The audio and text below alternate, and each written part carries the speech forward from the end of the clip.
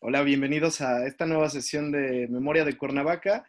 Hoy vamos a hablar de un personaje muy trascendente en la historia de, nuestra ciudad, que fue Cecilio Agustín Robelo, y tenemos personas muy calificadas. Entonces, eh, pues también sería interesante hablar de su tiempo, ¿no? Creo que, que sería interesante para ampliar un poco el tema, pero pues creo que hemos hablado eh, un poquito todavía por encima de lo que, de lo que realmente tiene este personaje y pues eh, tanto Alejandro como Patricia nos podrán ampliar mucho más el conocimiento y, no crean nosotros, bueno, yo también hice mi tarea y vengo preparado para aportar, pero entonces, este, no sé si quieren que le hagamos como la última vez en la cual eh, todos los demás aportamos o mejor ustedes inician. Creo que ahora por ser un coro menor, tal vez sería mejor que inicien ustedes. ¿Cómo ven Alejandro y Patricia? Eh, ¿A ti qué opinas? Sí, sí está, está, perfecto. Este, va a empezar este, Adelante, Alejandro, si quieres tú, porque Patricia yo creo que ahorita tuvo que... Bueno, sí, yo, yo nada más quiero, tengo un apuntador aquí porque para mí es, eh, creo que no para mí, sino debe ser en general. Ya, don Cecilio, nuestro antepasado, pues eh, hizo tantas cosas. Y, obviamente eh, aquí hay una introduccióncita muy pequeña para dice los datos obtenidos y narrados a continuación sobre nuestro ascendiente, el licenciado Cecilio Arrobelo, fueron obtenidos de algunos apuntes de su autoría, así como de originales que se encuentran en nuestro poder gracias a la obtención de parte de sus bibliotecas.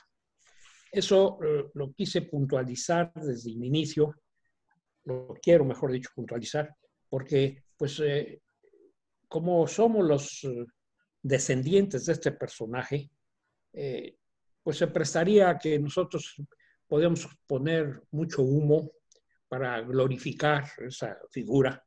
Y no es nuestra intención, ya que tuvimos la oportunidad y que ustedes nos hicieron el favor de designarnos para hablar de nuestro antepasado, pues queremos que sea lo más fiel posible y que no tengamos como dije anteriormente, situaciones que pues, hemos improvisado para agrandar el personaje, que no es nuestro, nuestro cometido. ¿verdad?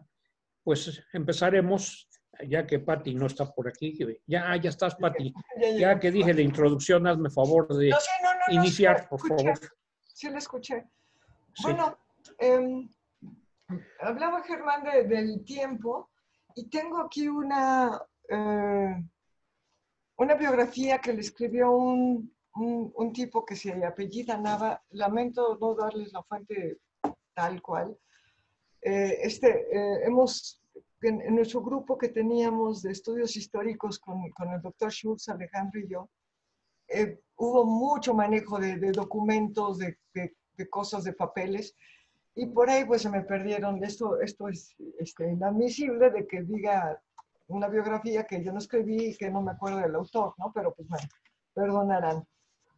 Y hablando, lo que decía Germán, del tiempo que le, que le tocó vivir a, a Cecilio Robelo, pues eh, está entre sus estudios en la Ciudad de México, nació el, el 22 de, de, noviembre de 1939, 1839 y murió el, el 16 de enero del, del 16, de 1916. No sé, el... Eh, Em, tuvo que, vivió aquí en, eh, recién, bueno, recién instalado el, el, estado de Morelos, em, porque estaba todavía como que era, pertenecía al estado de Morelos, al, marquesado de Oaxaca, bueno, era ahí como un, un relajito. Eh, pues, ¿qué les puedo decir? Creo que estamos ubicadas en, eh, cuando él nace, pues es, eh, después de la, de la, independencia, incluso su nombre, su segundo nombre, que es Agustín, es en honor a, Iturbide, ¿no? su otro apellido era Orihuela. y bueno, después de, de, de, que la independencia iba a ser como que la panacea de México, pues resultó que desató peores situaciones en unos momentos, ¿no? ¿Tienes idea de por qué llegó a, Cuernavaca? Ah, sí, sí, sí, porque eh, después de estudiar leyes, se vino a Cuernavaca a lo que era este, los, el abogado de los pobres. Era una institución que estaba ahí en, el Jardín Borda y que eh, lo, lo, cuentan muy simpático porque en, en realidad Cecilio Robelo pues tenía eh, recién salido, eh, tenía que ser el abogado de los pobres, un, un, abogado de, de, ¿cómo se llama? Ay, abogado ¿cómo se llama el término? Cuando son gratis. Los abogados... Te asignan, pero... De oficio. De oficio, exacto. De oficio. es la palabra. Un abogado de oficio para los pobres. Pero aquí estaba el archiduque, tenía su corte de Morel, de Cuernavaca, todo eso, y se las daba para bailar en, los, en, los, en las fiestas que había de la aristocracia morelense y la que habían traído también los archiduques y, eh, y fue criticado en ciertos momentos porque era políticamente incorrecto, ¿no? Estar de un lado y del otro, ¿no? O sea, era, era una situación que no, que no era bueno verlo bailar con las señoritas recién hechas duquesas, marquesas y baronesas y todo eso, con, con alguien que, tenía, que tendría que estar este, defendiendo a, a, los pobres, ¿no? Em, bueno, eh, ya contará toda la parte política eh, Alejandro, pero pues estuvo, fue cuate de Leiva, de H. Preciado, es con el que hizo, es importante ese viaje que hizo con H. Preciado, porque fue cuando, cuando empezó a hacer sus toponimias, ¿no? Eh, hizo un viaje de, desde Cuernavaca hasta Acapulco, fue, era el proyecto, a caballo. Entonces, eh, iban a caballo, iban parando en todos los pueblos y era ahí que, que, que Robelo, aparte de efectivamente estar en las fiestas de recepción al, al, al gobernador, ¿era? ¿Sí era gobernador? Sí, ¿verdad? Sí. o sea, sí, ya estaba... Jesús H. Preciado era gobernador, sí. Eh, pues también se la pasaba en el, en el baile. Parece que le gustaba eh, bailar mucho y las muchachas, porque incluso hace unas definiciones de que estas muchachas de formas, eh, incluso creo que lo tengo por acá, eh, una, una, cita de cómo describía a las mujeres. Eh, y, y, que, bueno, pues, le encantaba, ¿no? Le encantaban las mujeres al, al, al, bisabuelo. A ver, déjame ver. Qué raro.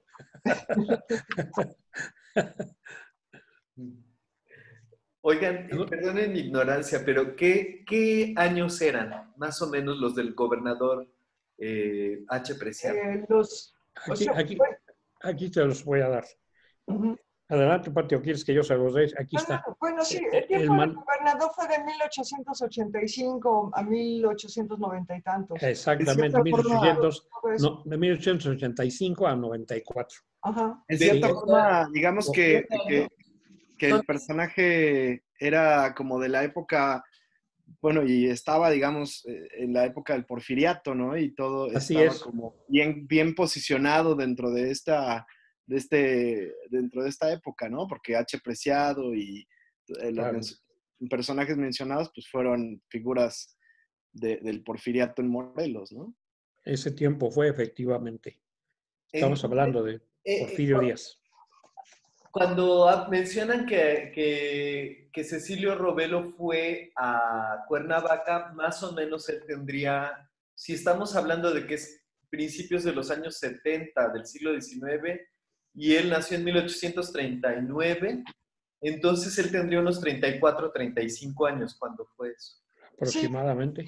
Incluso en, eh, justamente en los 60, en, en 1860 y algo creo que es, que, ¿se acuerdan que les dije la vez pasada de 1860 que escribe un, un, este, un análisis de la situación de Cuernavaca en 1864?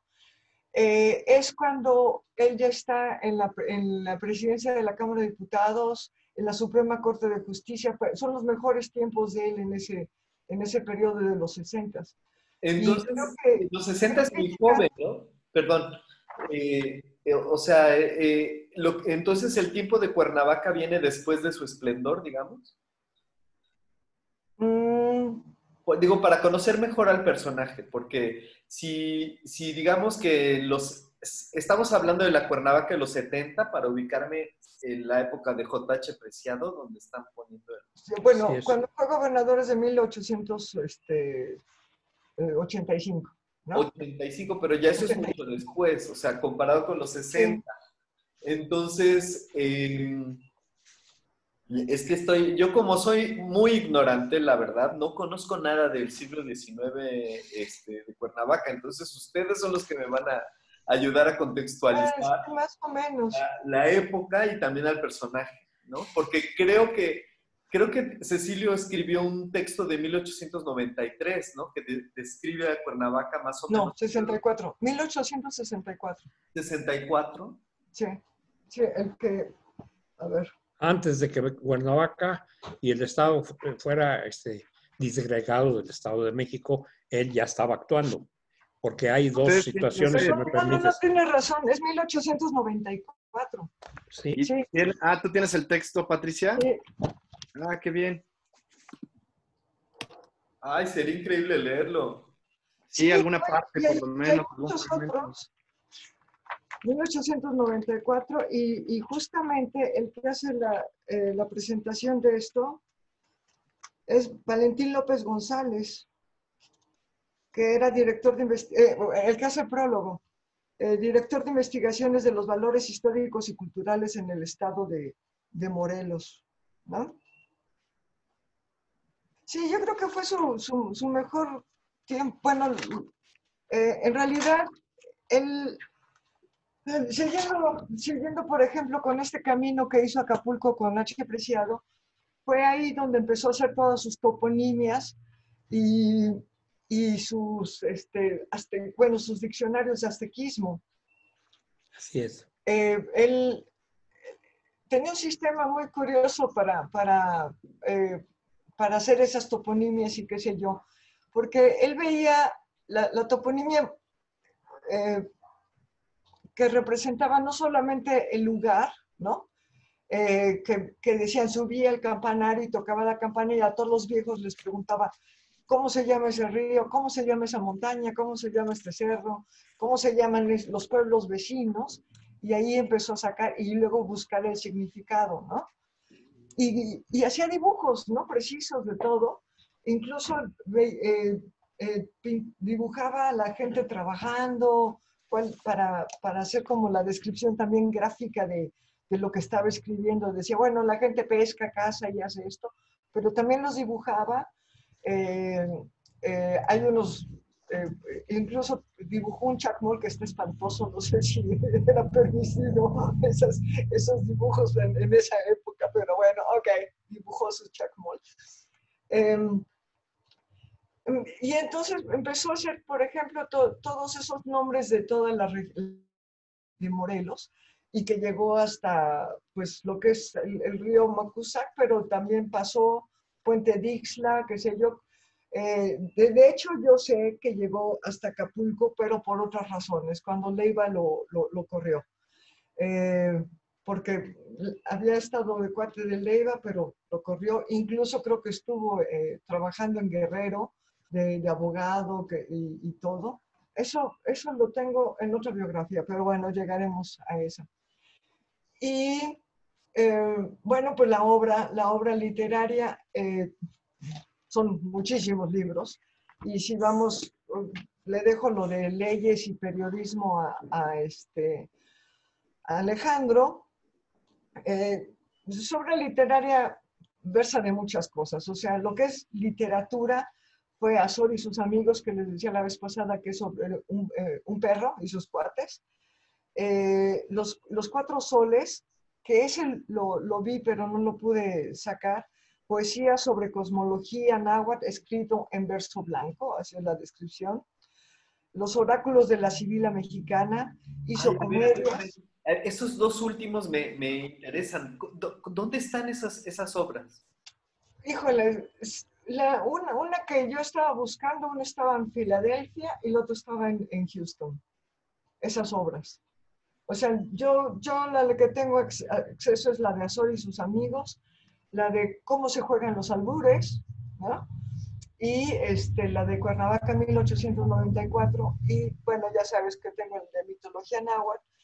Eh, he visto el de, poesía hay un diccionario de aztequismos, pero, pero el de el otro que menciones de los cuatro soles es de poesía náhuatl, cosmología. Sí, eso, poesía sobre la cosmología. Y, y ahí también, entonces, también habla sobre una sibila mexicana. Eso es otro libro, Oráculos de la Sibila Mexicana. ¿Y, sabes algo de ese? Me, me interesa. Este no, te digo que uno u otro estuvo en, en este, en, lo encontré en la, en la biblioteca de Filadelfia.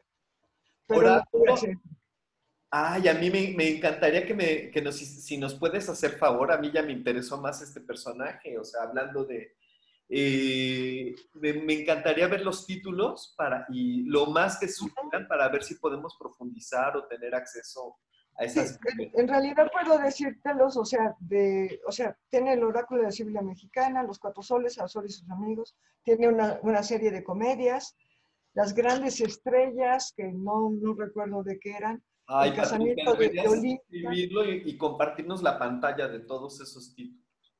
Eh, sí, bueno, se los, se los copio en, en, el WhatsApp, ¿no? Eh, Félix y no Félix y Estrellas Errantes. Y de lingüística, lingüística indigenismo, bueno, ahí sí, sí es este, interminable, o sea, es que es curioso, el, el, este, tenía un vocabulario comparativo español-náhuatl y que después se le ocurrió, se le fue ocurriendo de que podía mezclar los dos idiomas, las dos lenguas, en este caso, y crear un idioma que concentrara, digamos, eh, reglas gramaticales con vocabulario, como qué sé yo, y le, llamaba la, lengua robelina, ¿no? Eh, quería eh, competir con el esperanto, ¿no? O sea, no, no era una cosa de, de fácil, ¿no? O sea, iba a ser sus reglas gramaticales, todo el desarrollo gramatical y todo. Eh, no lo terminó eh, su, lengua eh, pero bueno, me recuerdo cuando mi hija inventó su idioma, que cambiaba, cambiaba todos los días porque me decía Belén, este, eso no se llama libro, se llama puchón, ¿no? Puchón. Y al otro día le digo, el puchón Belén no, pues no es esto, no era un banco, era otra cosa. Y digo, no, es muy difícil de aprender este idioma porque cambia mucho. Y, y, y Sobelino no sé si realmente haya sido también una, bueno, crear un idioma debe ser tremendo, ¿no? O sea, bueno, no sé. Bien, les digo, eh, vocabulario comparativo de náhuatl, la toponimia, tanto de el Estado de México, de Guerrero, de Morelos, este, Tarasco, eh, bueno, son muchos. Eh, hace la etimología de Huitzilopochtli, hace la, eh, hace, ah, bueno, precisamente en este viaje que hace con, con H. Preciado, lo, lo, hace subir a Xochicalco. Y en ese momento, por todo lo que sabe el Cecilio Robelo de esto, lo, lo, lo, este, lo nombra tiene un término, pero bueno, como director general de la, de la, historia y arqueología de Morelos, ¿no? Se acabó. Subidos en el cerro los dos, ¿no? Que no estaba tan, eh, bueno, tan descubierto como lo vemos ahora, ¿no? Apenas eran, o sea, era una semblanza de unas, de unas ruinas, no, no era precisamente lo que vemos hoy. Eh, y le fue interesando más, ¿no? Eh, tenemos los aztequismos de, toda la región. Bueno, en ese entonces yo creo, eh, corrígeme Alejandro, yo creo que todavía no estaba como la diferencia, ¿no? Entre el Estado de México y Morelos, como que todavía no, no, no, este, asimilaban la, la, la creación del Estado de Morelos. Y él promovía... perdón, estoy muy confundido con las fechas porque no sé de qué fechas me están hablando. O sea, no... Estamos hablando de 1860 y tantos, 90 y tantos, de, de cuando... Eso mucha diferencia, entonces... A ver, no, me refiero a todo este periodo de, transformación, ¿no? Sí, es porfiriato tal cual, porque digamos que eh, después, por ejemplo, lo que está comentando Pati ahorita, eh, hemos comentado que Robelo era amigo de, Eugenio J. Cañas y J. Cañas eh, fue de las personas que ayudaron a establecer los límites entre el estado de Morelos y Puebla y el estado de México, ¿no? Entonces, e, esta parte de exploración, por ejemplo, yo tengo aquí un libro que se llama Las cavernas de, de Cacahuamilpa y que es de Cecilio Robelo y de J. Cañas, porque eran amigos, y es un libro en el que ah, narra la expedición. Sí, sí, acá, incluso aquí lo tengo. Es un libro de 1907, ya es posterior ¿no? a la época que están describiendo. Digamos que eh, cuando se estalla la revolución, el gobernador es Pablo Escandón, pero previo a Pablo Escandón está Manuel Alarcón, que, que tenía muy buena reputación, y previo están este, pues los gobernadores que les llaman incluso los gobernadores porfiristas, ¿no? Que son H. Preciado, también está, pues, bueno, Leiva al final derrota a Bernardo Reyes. Entonces, este, eh, ahí, ahí pues más o menos podemos ubicarnos, ¿no? Dentro del porfiriato y ya después... Sí, este pero por ejemplo aquí tengo algo de, de Robelo, hablando de, Cuernavaca. Eh, dice, por ejemplo, dura, eh, hablando de mil... ok, durante el gobierno colonial fue Cuernavaca la cabecera de una, de una gran comarca dependiente de la metrópoli. Después de la independencia, fue la capital de un, de un gran distrito que los componían el antiguo Estado de México.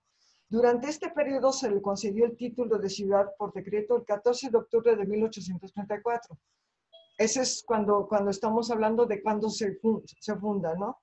En los últimos días de octubre y primeros de noviembre de, de 1855, fue Cuernavaca la residencia del gobierno emanado del doctor de Ayutla y, presidido por el general Juan Álvarez.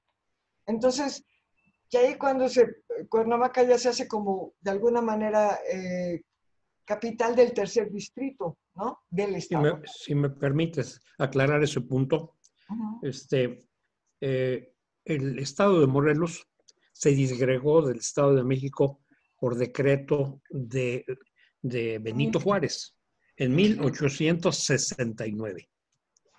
Quiere decir que antes de 1869, Cecilio Agustín Robelo tuvo cargos en el tercer distrito militar, el Estado de México, eh, este, mejor dicho, el, distrito militar, el tercer distrito militar fue Morelos y se disgregó del Estado de México, pero Cecilio Robelo tenía dos cargos, director y fundador del primer periódico oficial del tercer distrito militar y juez de primera instancia del tercer distrito militar.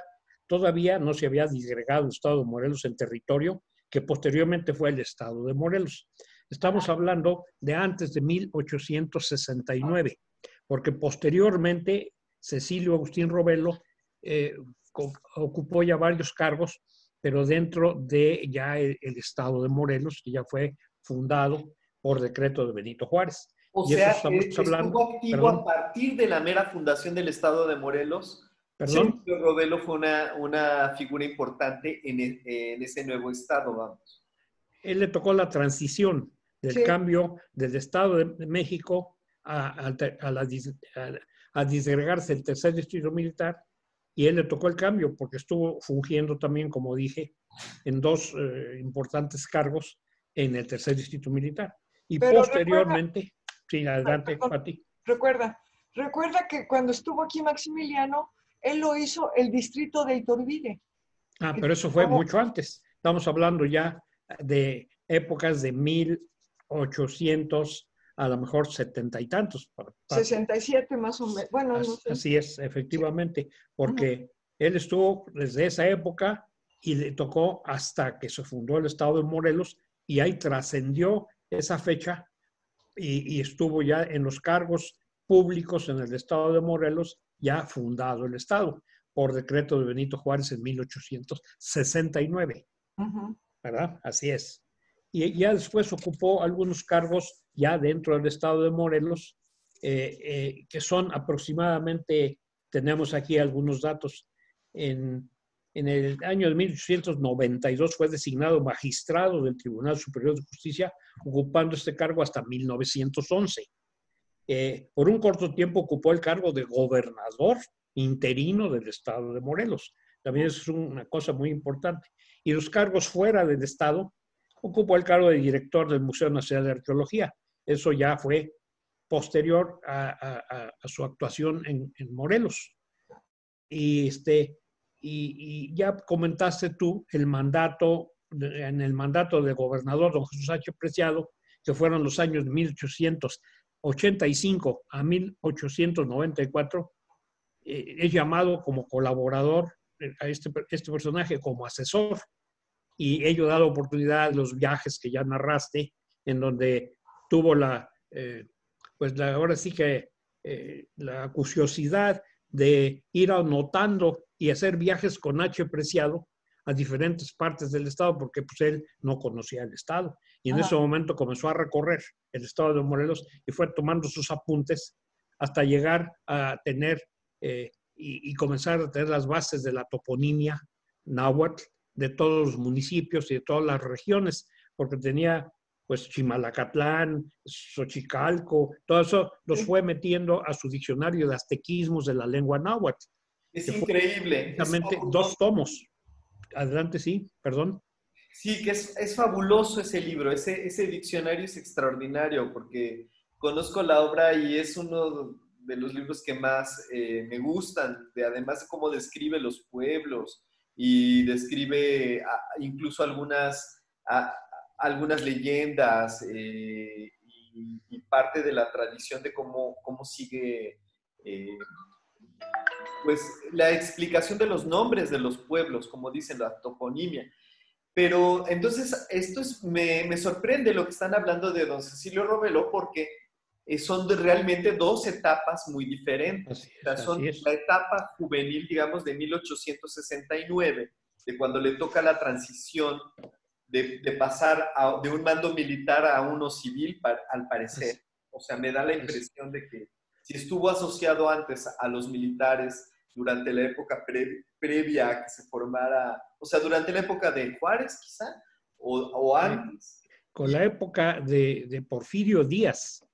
Eh, o sea, le tocó él transitó en la época de Porfirio Díaz. Porfirio, pero eh, Maximiliano, ¿en qué época estuvo?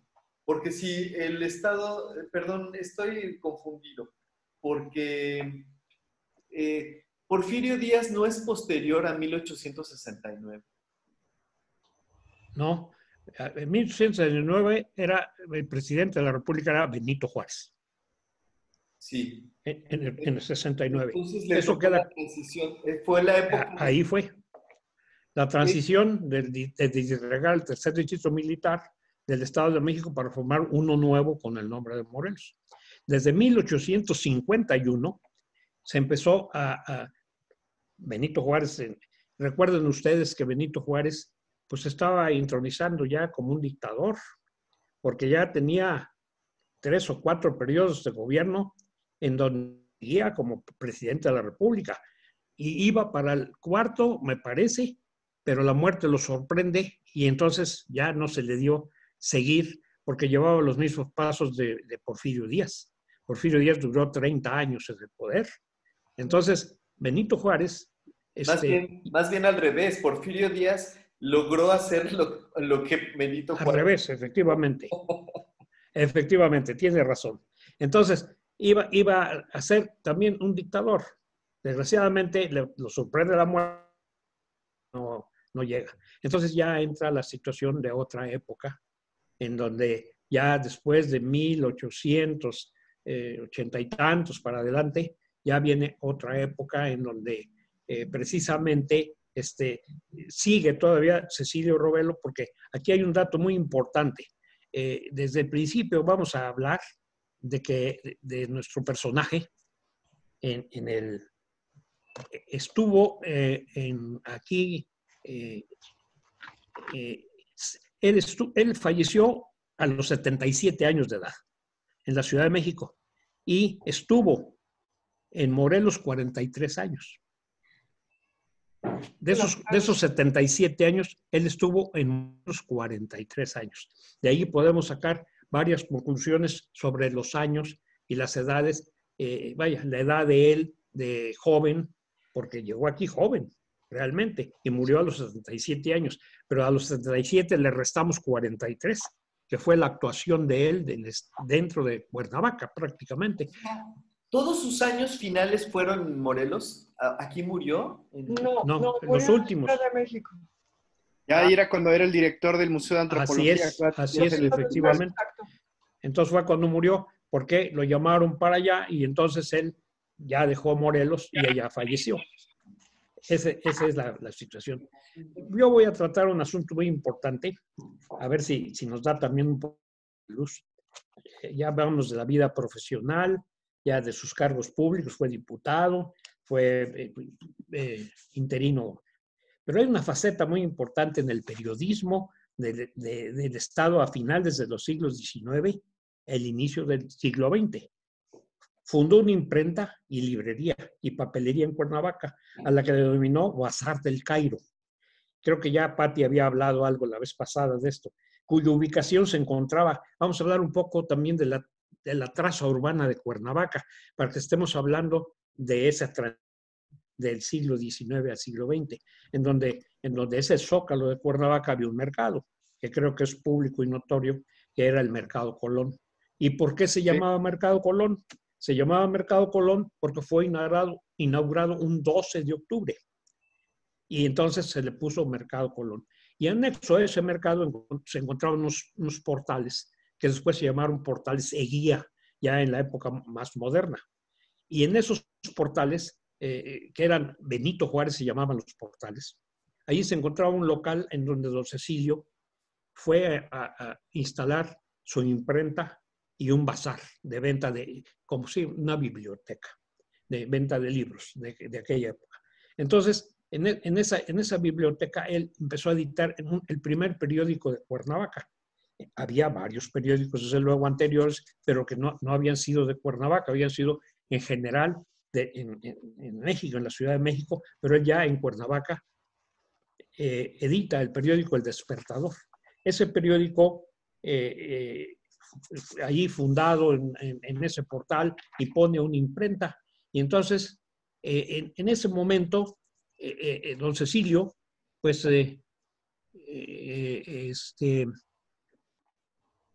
y los, los el periódico tiene varias facetas y se llamaba el periódico El Despertador, como lo dije, antes había unos periódicos que se llamaba El Eco, El Iris, y de manera muy especial El Despertador, el cual por herencia de mi abuelo y de mi padre conservo un libro encuadernado que contiene los tomos 1, 2 y 3 del estado del este, de este histórico periódico y que su título es el de Despertador y se anunciaba como Semanario de Religión, Ciencia, Literatura y Variedades. Director, redactor, traductor y editor, licenciado Cecilio Robelo editado estos tomos en los años de 1896, ahí hay unas referencias de fechas, a 1897, los tomos que yo conservo de esos, ese periódico El Despertador. ¡Wow! Los primeros tres. Que contenía. Los tres números, perdón, Alejandro. Perdón por interrumpirte, pero estoy muy este, como entusiasmado de escuchar eso que cuentas. O sea que podemos, o sea, es un, hay un documento maravilloso, original de Cecilio Robelo, de, eh, de esos tres números de, de Aquí los tengo. La vaca, sí. bueno. un periódico, el, el, Despertador le llamaba, se llamó. Sí. Este, en el que él era todo, o sea, el dueño de... Él era, él era todo, él era el, allí dice, era el editor, era redactor, traductor, editor, era todo, o sea, y seguramente el vendedor. Y conserje. Aquí les vienen unos datos muy importantes. Encontré un dato, este, un, documento, perdón también que les interrumpa, porque, pero va muy al tema. Encontré un documento que les voy a compartir por WhatsApp, se llama Periódicos Católicos y Anticatólicos de Morelos. Este documento es hecho por eh, pues, gente de la UAM. E incluso en el libro, en este documento que está libre y ahorita les comparto el PDF, dice que hay una persona que tiene la colección completa que se llama eh, Carlos Barreto Marc tiene la colección completa del despertador y dice, en este contexto en Cuernavaca aparece el primero de enero de 1896 la última empresa periodística del muy laico Cecilio Agustín Robelo, aliado del poder porfirista, que se conmueve bajo el título evocador de El Despertador. Por la mala influencia de la prensa metropolitana católica, en particular de La Voz de México que circula en el espacio morelense, de hecho, el título completo de este semanario es Semanario de Religión, Ciencias, Literatura y Variedades. Bueno, y aquí habla, y hay algo muy interesante que este, eh, que no sé si tú lo sabes, Alejandro, ahorita me dices, pero si no, ahorita les platico, que había una pugna con otro eh, semanario católico, que bueno, que era más bien católico, que se llamaba El Grano de Arena, era un semanario, y había como una especie de, de, pique, y entre edición y edición se, se, tenían una, una, se crearon una sección para golpearse mutuamente estos dos periódicos, el de, el de Cecilio y el Grano de Arena. Efectivamente, sí. Eso iba yo también a platicarlo. Es necesario hacer dos preguntas para conocer más al hombre Cecilio Robelo. ¿Estaba casado? ¿Se casó? Sí, sí, se casó, pero no tengo el árbol genealógico. O sea, yo, yo sé que es mi bisabuelo por referencia a mi padre y, mi, abuelo. Yo no conocía a mi abuelo paterno, pero mi padre me, dio la referencia y dijo, bueno, de aquí viene, ¿no? Y como no era, no era mi familia materna, la que conozco perfectamente, que yo les puedo hacer el árbol genealógico desde 1810 que llegaron aquí, eh, los Robelos eh, llegaron antes incluso, creo. Eh, pues sí, porque pues, Cecilio Robelo nació en la Ciudad de México y nació en 1839, pues más o menos calculo. ah, no, no, no, no, sí, llegaron los dos en 1810. Fue curioso, bueno, eso es eh, personal, pero...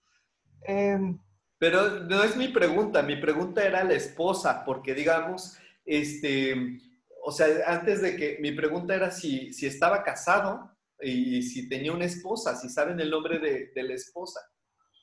Yo no tengo referencia de, de eh, el nombre de la esposa, ni si tuvo hijos, no tengo esa referencia.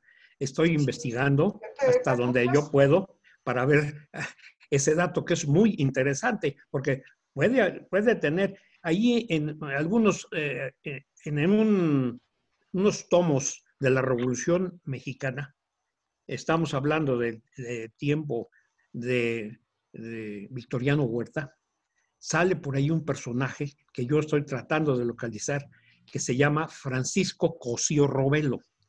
Francisco Cosío Robelo fue un general que en esa época y que ocupó varios cargos en la Ciudad de México. Eh, eh, no estoy muy seguro todavía. Pero, pero, mucho después, ¿eh? aparece Francisco Cosío Robelo. Obviamente, no sabemos si sea eh, sobrino, no sabemos nada. Yo, yo sí estoy tratando de investigar porque sí es muy importante para nosotros, Pati, y para mí, pues encontrar el nexo de las, de las familias del estirpe de don Cecilio que yo en realidad no lo conozco. Bueno, yo te puedo decir que eh, Cosío Robelo es incluso este, mucho posterior.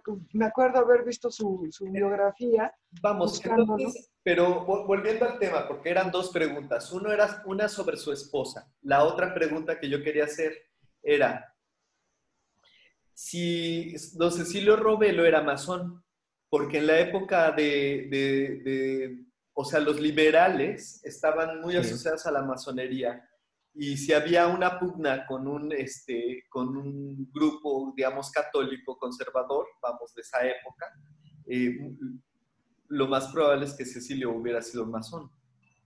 Sí, yo, yo te puedo contestar lo siguiente.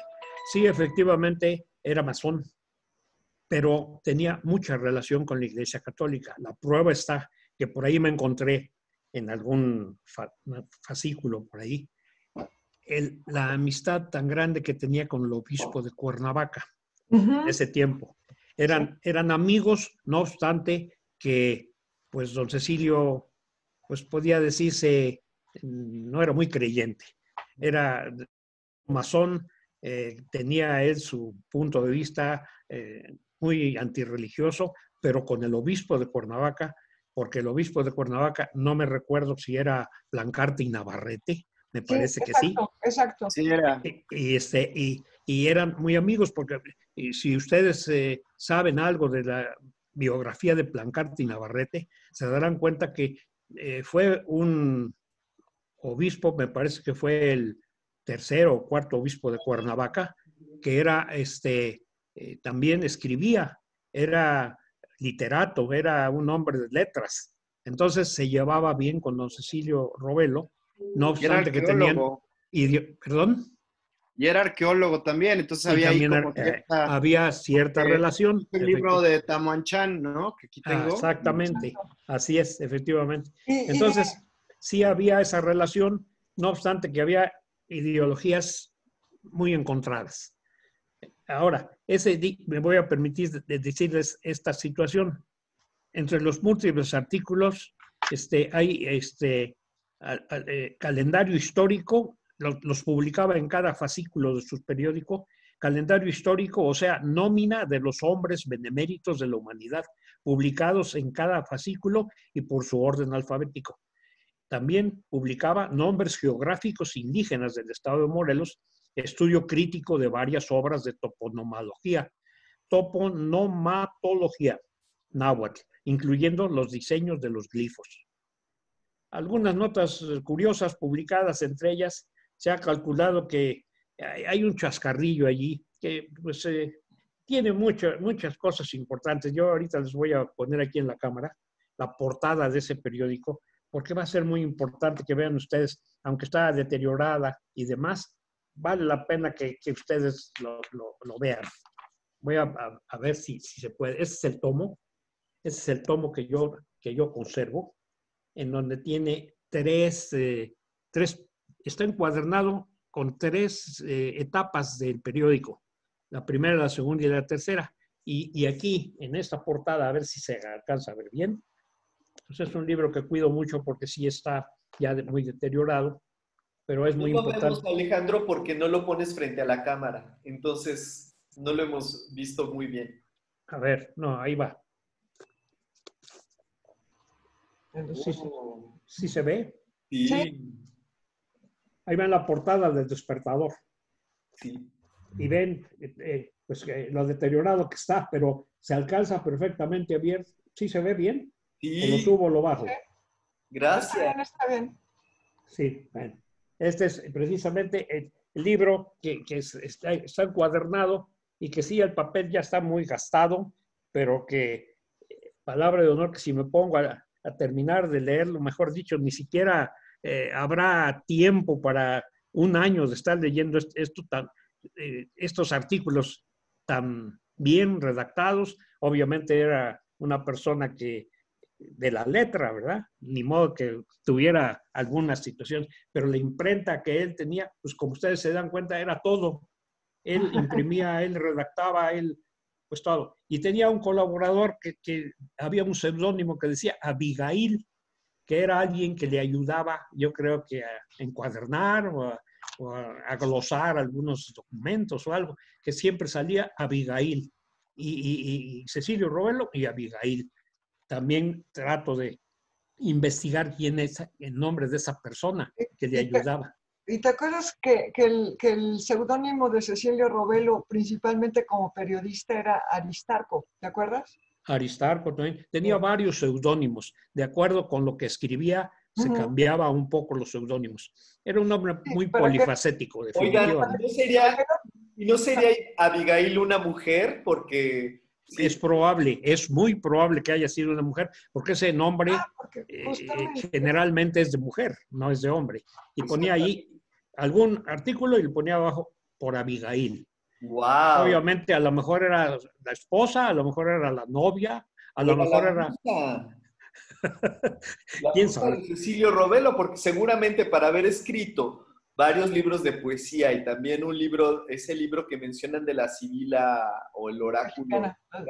los oráculos de la Sibila mexicana. Los oráculos de la Sibila mexicana es porque seguramente debió haber conocido una mujer interesante. Una Sibila. Sí, era bastante coqueto, o sea, desde los bailes y todo, qué sé yo. Aquí hay, aquí hay una situación, aquí, mire. Pero el personaje también, de Abigail me intriga.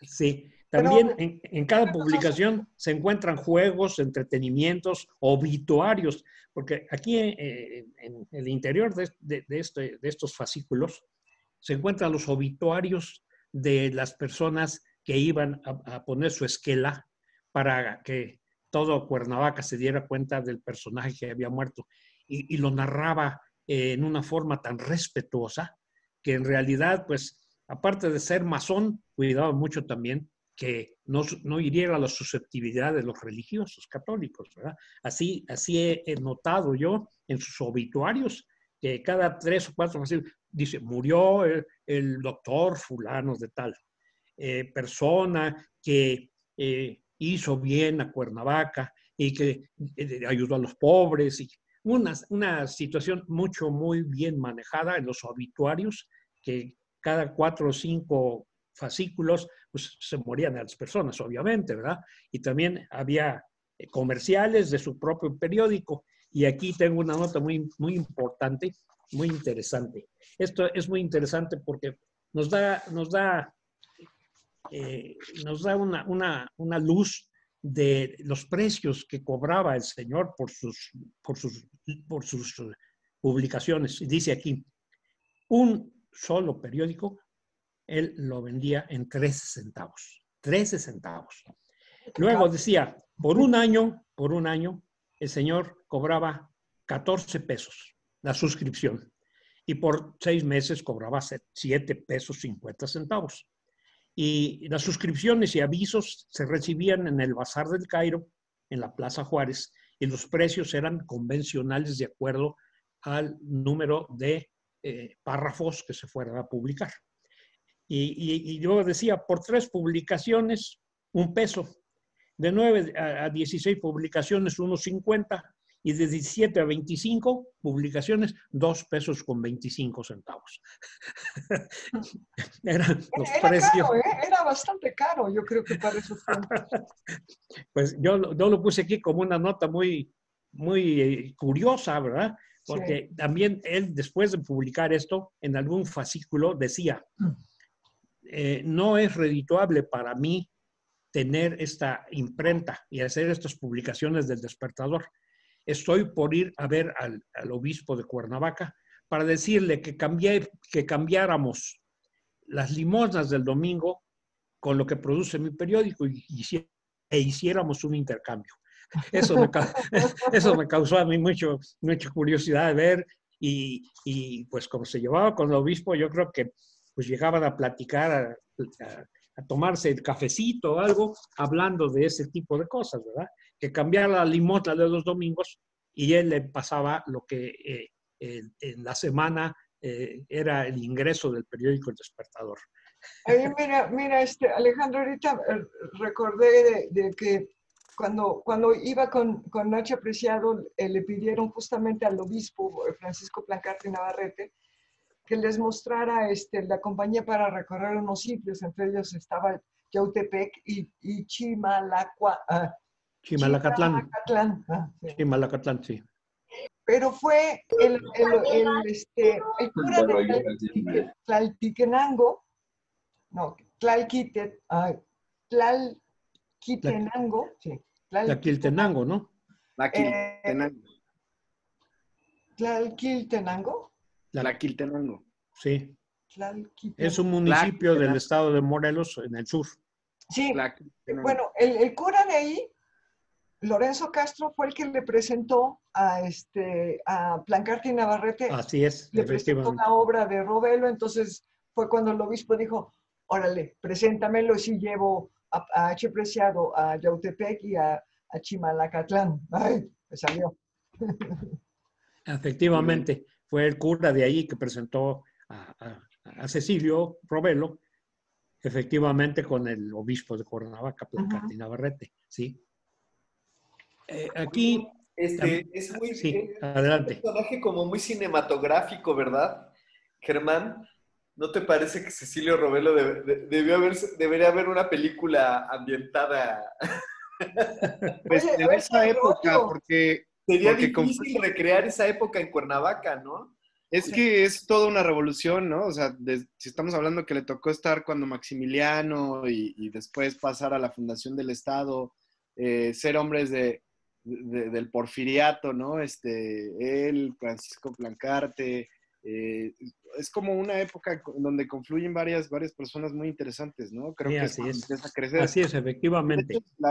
son como los que sientan las bases de la Cuernavaca moderna, porque, por ejemplo, acá en el texto que decían de, Cuernavaca, ¿no? Justo que, Valentín López González lo menciona en su libro y habla, cuando habla del mercado justamente de Colón, y dice que eh, él describía Cuernavaca, dice en su artículo llamado Cuernavaca, que ya era una deforme plaza de mercado y por su mal estado el gobernador, don Manuel Alarcón, le agregó algunas piezas que destinaron a comercios, o sea, hablaba del mercado. Eh, él, por ejemplo, algo que menciona muy bueno, Valentín, eh, es de las calles, ¿no? Los nombres de las calles, sí sabían, ¿no? lo habíamos comentado, creo, en algún momento, que él le cambió el, eh, nombre a, las calles de Cuernavaca, que sobre todo, pues obviamente a las calles del centro de, de la ciudad, que tenían nombres pues como los que se usaban antes, ¿no? Si había un cochino en esa calle, le decían la calle del cochino, ¿no? Así es. Si había un, un ratero. diciendo, hay,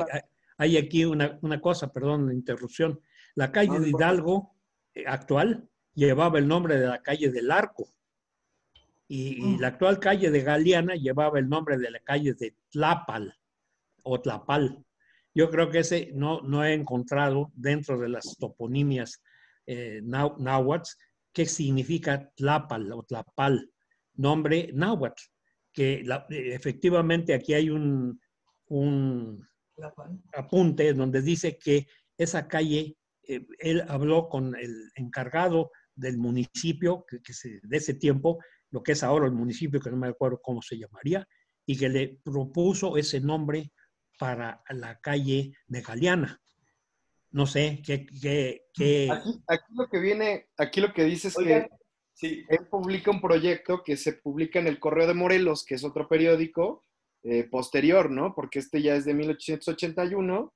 Ah, no, el otro era de qué año dijimos que era el, despertador. ¿En qué años estuvo? El, el despertador, aquí tengo el dato, si me permites. Mientras, Patricia, eh, no sé si nos puedan compartir una foto de Cecilio Robelo, porque Lupita acaba de escribir que, le gustaría mucho. Aquí está. Él, la tiene, él la tiene, este... Aquí se la voy a compartir la, la foto. Guapísimo el viejito. Aquí está.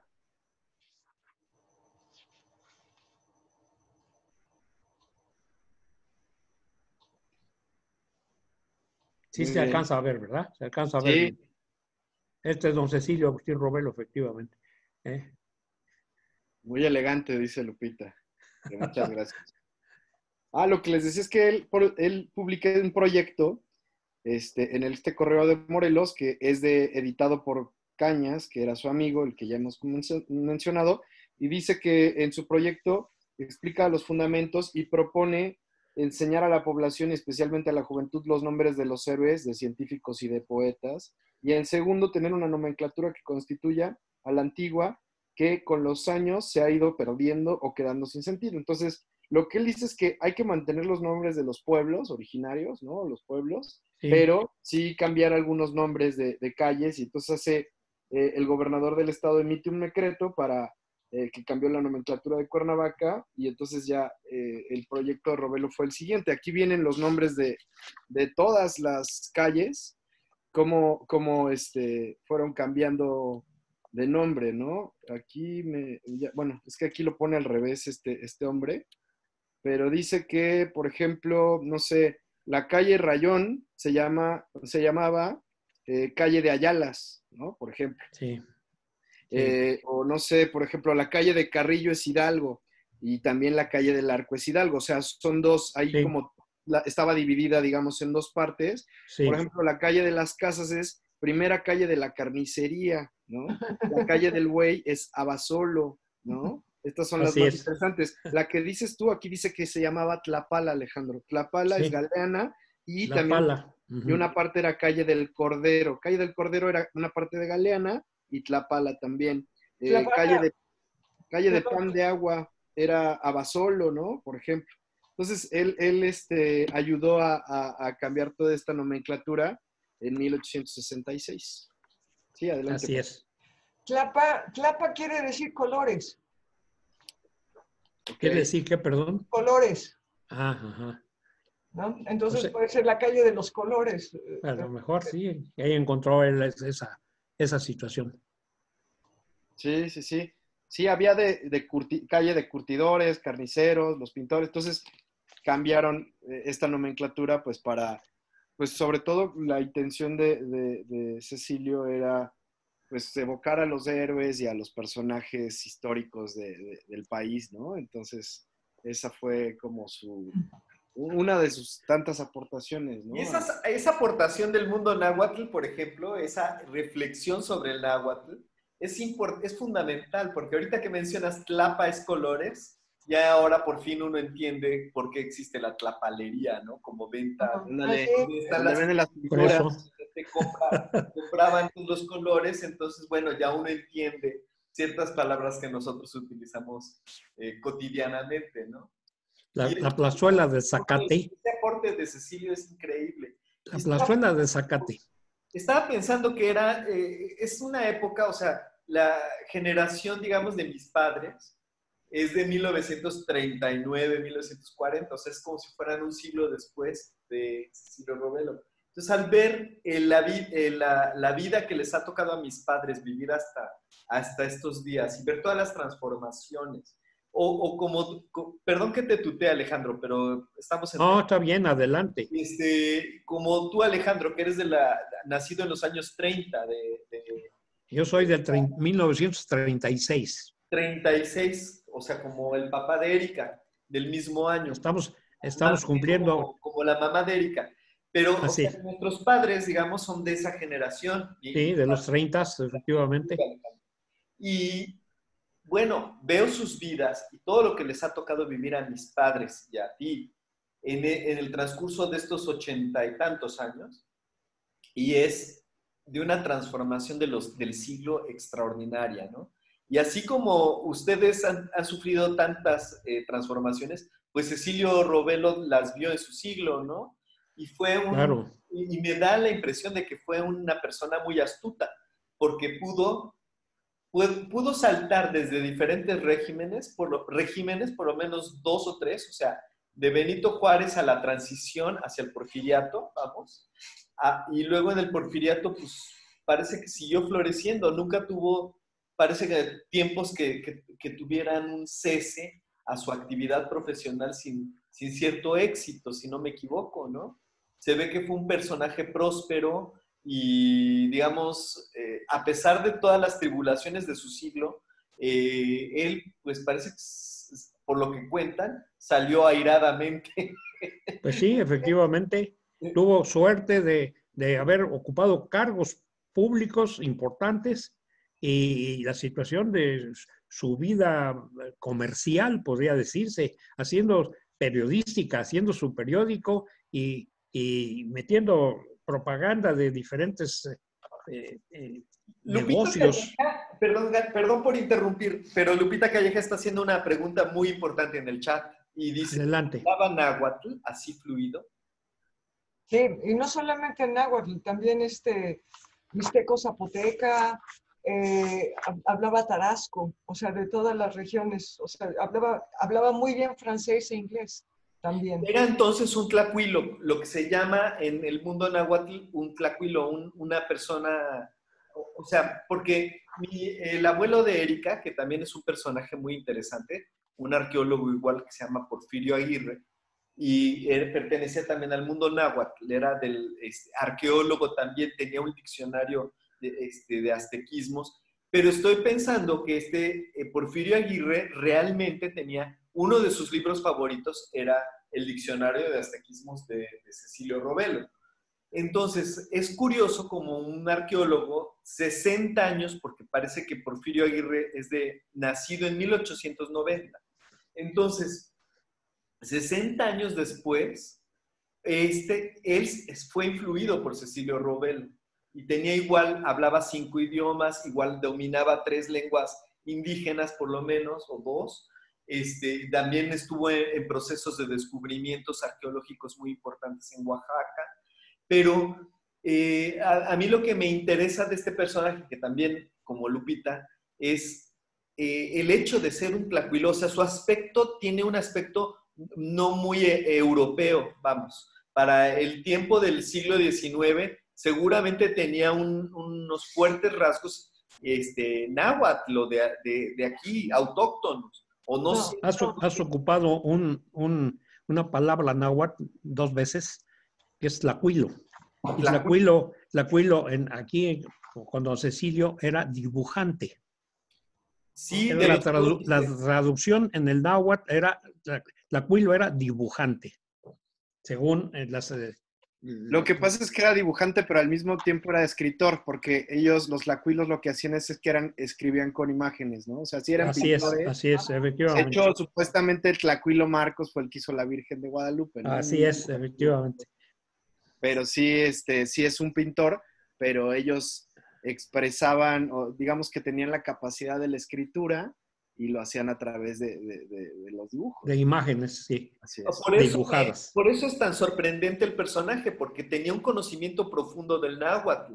Y ese, esas ganas de, mezclar realmente el, lenguaje del náhuatl y el español y darle, otorgarle la riqueza, porque no podría hacer un diccionario del náhuatl y un interés de, de recopilar, digamos, toda esa fuente y además de dónde viene cada nombre de cada pueblo o sea, es porque tenía él un genuino interés de dar a conocer esa raíz, ¿no? O sea, yo creo que eso es muy importante.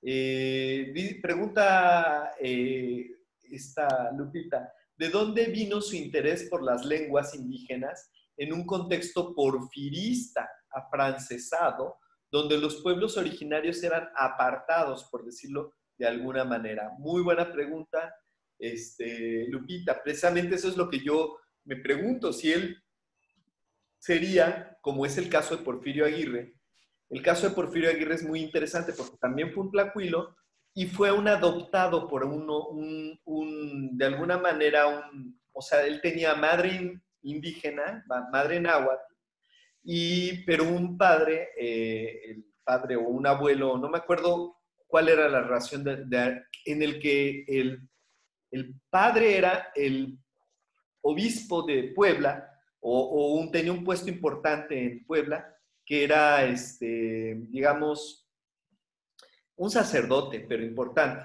Entonces, como hijo ilegítimo, pues sí le dio el, apellido a, Aguirre, vamos, estamos poniendo el caso.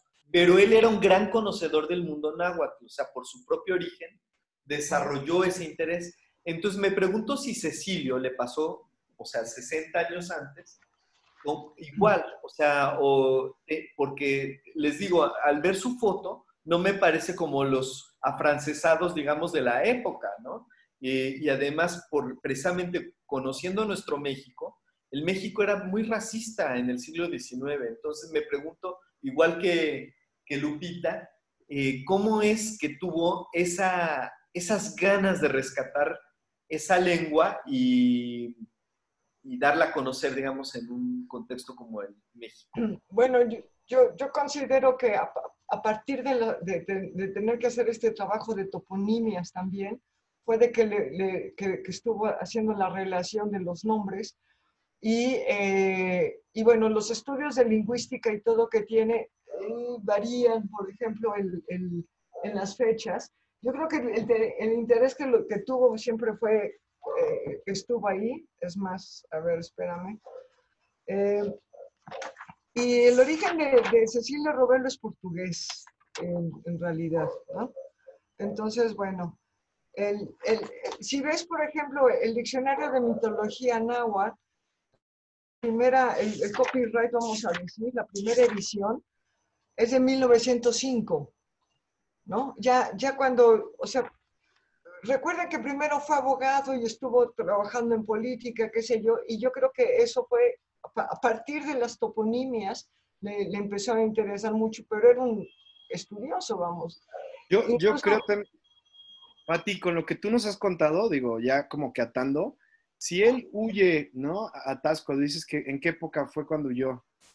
De Leiva, ¿no? Con Leiva, sí, con Leiva. Entonces, probablemente en esa época no había todavía, no había llegado Porfirio Díaz al poder, ¿no? Este, incluso pues había, estaba ya encaminado, pero todavía no era. Y ahí es en donde despierta su interés por esto, ¿no? Es lo que comentabas. Entonces, probablemente esto es al porfiriato, ¿no? Previo al afrancesamiento de, de, la época de don Porfirio, y ya conforme fue pasando el tiempo, seguramente se fue desarrollando más. Pero yo creo que ese viaje eh, fue crucial, ¿no? Porque ahí yo creo que empieza a...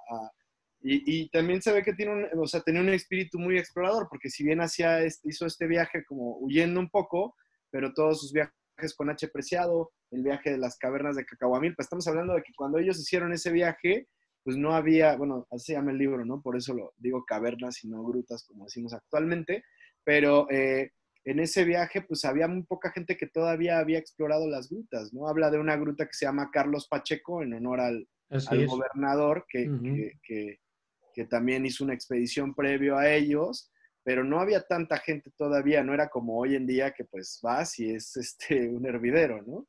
Entonces yo creo que también ese espíritu explorador, haber recorrido el país en sus diferentes puntos, sobre todo entre el, previo Estado de México, en donde México, Morelos era una parte y pues la Ciudad de México y Guerrero, pues yo creo que de ahí le viene, ¿no? Porque los libros que, hizo de, estos temas no nada más son de Cuernavaca, ¿no? Sino como que tiene nombres de, estado. de, Morelos, del Estado de México, del Distrito Federal, de, Guerrero.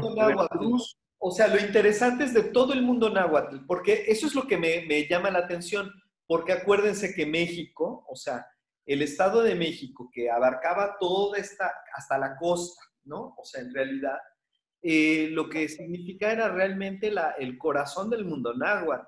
O sea, todos los pueblos que, este, que, tienen esta región de Ciudad de México hacia el sur, era como que la parte más, donde estaba más vivo toda. se, se habla de Tamanchán. Exactamente. Tamanchán. Esa es una reflexión central, maravillosa. Porque la idea del Tamuanchán es como la idea de una especie de paraíso, ¿no? Entonces, Así es. que los que traen en, la memoria el Tamuanchan, el, famoso Tamuanchan, pues sí es curioso que, que Cecilio lo tuviera tan presente y que lo conociera tan a fondo. Hay unas raíces de don Cecilio desde sus estudios. Yo creo que desde ahí comenzó su, su afición por las lenguas, porque él estudió muy jovencito en el Seminario Conciliar Mexicano, estudiando latín, filosofía y derecho. intentó estudiar medicina, pero su vocación fue el derecho, convirtiéndose en abogado experto en jurisprudencia. Yo creo que esta raíz de él en sus estudios pues le fue madurando para eh, llegar a, despertar de eh, la situación de eh, tomar el náhuatl como una investigación profunda y llegar hasta hacer eh, los diccionarios famosos que eh, estoy a punto de, Patti sabe que estoy por escudriñar una biblioteca que no he abierto, de familia, que está empolvada pero cuidada y que por ahí voy a encontrar una maravilla de datos de Don Cecilio y de algunos personajes más. Y ya nada más para no quitarles mucho tiempo. Hemos dado aquí a conocer personajes que no son morelenses, pero que nos han venido a aportar una cantidad de acervos científicos, literarios, etcétera, etcétera, que eh, eh, han enriquecido a, la Cuernavaca, al estado de Morelos. Ya hablaremos de José G. Parres, ya hablaremos de otros personajes eh, que, que no fueron de aquí, pero que aportaron mucho para Cuernavaca y para el estado de Morelos. Claro. Ahí les mandé un, eh, encontré ahorita como unas fotos del libro de los oráculos, que aunque pues probablemente también ustedes lo tienen, pero para que le echen un ojo ahí a, la portada y este, justamente ahí, ahí dice que es la imprenta Cuauhnáhuac y dice portal de Eguía, ya se llamaba el portal de Eguía. Sí, hubo la transición. Sí, y, también el libro de las cavernas es la imprenta Cuauhnáhuac, ¿no? Entonces, este, incluso me lo devolvió hoy un amigo porque él este, está estudiando tipografías y me llamó la atención también que dice tipografía Cuauhnáhuac, ¿no? Tenían como su propia tipografía para, para, el libro, ¿no? Este, Efectivamente, así decía tipografía Cuauhnáhuac. Yo, yo les tengo una, una Oye, Germán, este, este, amigo que te envió estas fotos, ¿él tiene ese libro? No, no, no, estas las encontré ahorita. Más bien a mi amigo le presté el de las cavernas y le dije, oye, vamos a hablar de, de Cecilio, este, ¿me lo puedes devolver? No, estas fotos las encontré ahorita en internet. Este, y de hecho lo que estaba justamente yo viendo ahorita, ah, pues miren, aquí dice que es del, porque había leído que era de 1904, pero aquí dice que es de 1893. No sé ustedes qué dato tienen de este libro. ¿De cuál? Del de los oráculos de la Sibila mexicana. Ah, no, no, no tengo la fecha. Ay, está interesantísimo ese libro. O sea, ya me, ya me piqué, o sea, porque está, quiero conocer el libro de Tamuanchan, que ya vi que alguno de ustedes tiene. Yo lo tengo. Ay, me gustaría sacarle unas copias, ¿no? A mí me gustaría tenerlo. Y este, igual, Pati, o sea, e, ese de Cuernavaca de 1893, deberías escanearla y, y para que lo, leamos aquí los compas y así profundicemos en, en, en ese libro, en Cecilio, porque la verdad es un personajazo, ¿eh? Sí. Yo, yo les quería proponer una cosa para trascender un poquito eh, este tema, porque ustedes tienen una información muy buena y muy rica de, del personaje que pues mucha gente obviamente no tiene acceso. Entonces, una de las herramientas que es más útiles para pues el usuario común es visitar Wikipedia. Y si ustedes se meten a, Wikipedia y ven el perfil de Cecilio Robelo, que no tiene la A de Agustín, este, bueno, abajo sí lo tiene, es muy pobre, ¿no? Entonces, les, propongo que armemos una especie de semblanza, no gigantesca, pero sí como que la complementemos un poquito con estos datos de, su, de, sus libros o de, su, de, sus libros. Obviamente ahorita justamente agregué dos libros que, en, Wikipedia, porque ustedes saben que podemos editar en tiempo real, entonces agregué el de los oráculos y el, el de las cavernas que tengo aquí, que no estaban ahí en su lista de libros. Pero si ustedes podemos mandar tal vez en un correo pues algunas líneas interesantes y podemos editar Wikipedia para que más gente pueda tener acceso a... Germán, yo, este, te voy a decir una cosa, ¿eh? Y ahí sí te, te quiero pedir un favor. Yo estoy seguro que Patti y Alejandro jamás han editado en la Wikipedia, yo tampoco.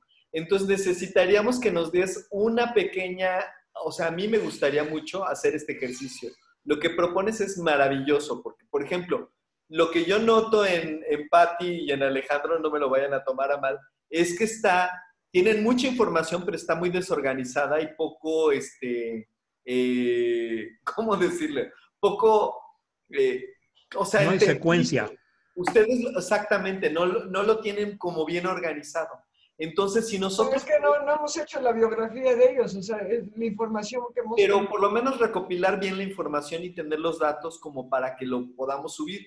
Porque yo lo puedo subir, yo lo puedo subir, o sea, ustedes que me mandasen un, en un correo puede ser o en un documento de Word, algo muy simple. Eh, algunos, o sea, si se meten a esta biografía, se, las quiero, se las puedo compartir ahorita para que más o menos la, la vean, que es muy, muy sí, es de las más pobres. Entonces, si ustedes me mandan como datos. Por ejemplo, la foto, ¿no? La que ustedes tienen es buenísima. Y esa foto. La foto estaría buenísimo si, si yo, o sea, si no tengan un escáner o algo, si la escanean o si le toman una foto con el teléfono de. Pero con un buen. Ahí bien enfocadita, se sube y, ya le podemos poner más. Yo, yo podría hacer la edición de, del perfil, pero con la colaboración de ustedes, es decir, que me manden, eh, algunos puntos. Por ejemplo, aquí no se menciona el despertador, no, no se menciona eh, eh, mucho la parte de, bueno, sí viene que fue, ocupó una magistratura en el Tribunal Superior de Justicia, no, dice que también fue gobernador interino de la entidad. diputado. diputado, eso no viene, por ejemplo fundó la, este, la imprenta, eh, la que hablábamos del Cairo, ¿no? ¿Cómo se llamaba? y, sobre todo las publicaciones de Cecilio Robelo, ¿no? Poder saber cuáles fueron sus títulos para que si alguien quiera eh, hacer un estudio a fondo, ¿no? Sobre Cecilio Robelo, pudiera acercarse y saber de qué, de qué, libros tiene que investigar, ¿no? Para, para poder saber más. Seguro ahí hay una madeja de investigación maravillosa. Sí, y muchos otros, eh, les decía, de, hay una bueno, un comentario de Nava, que fue el que le contó este, Miguel Salinas, ¿no?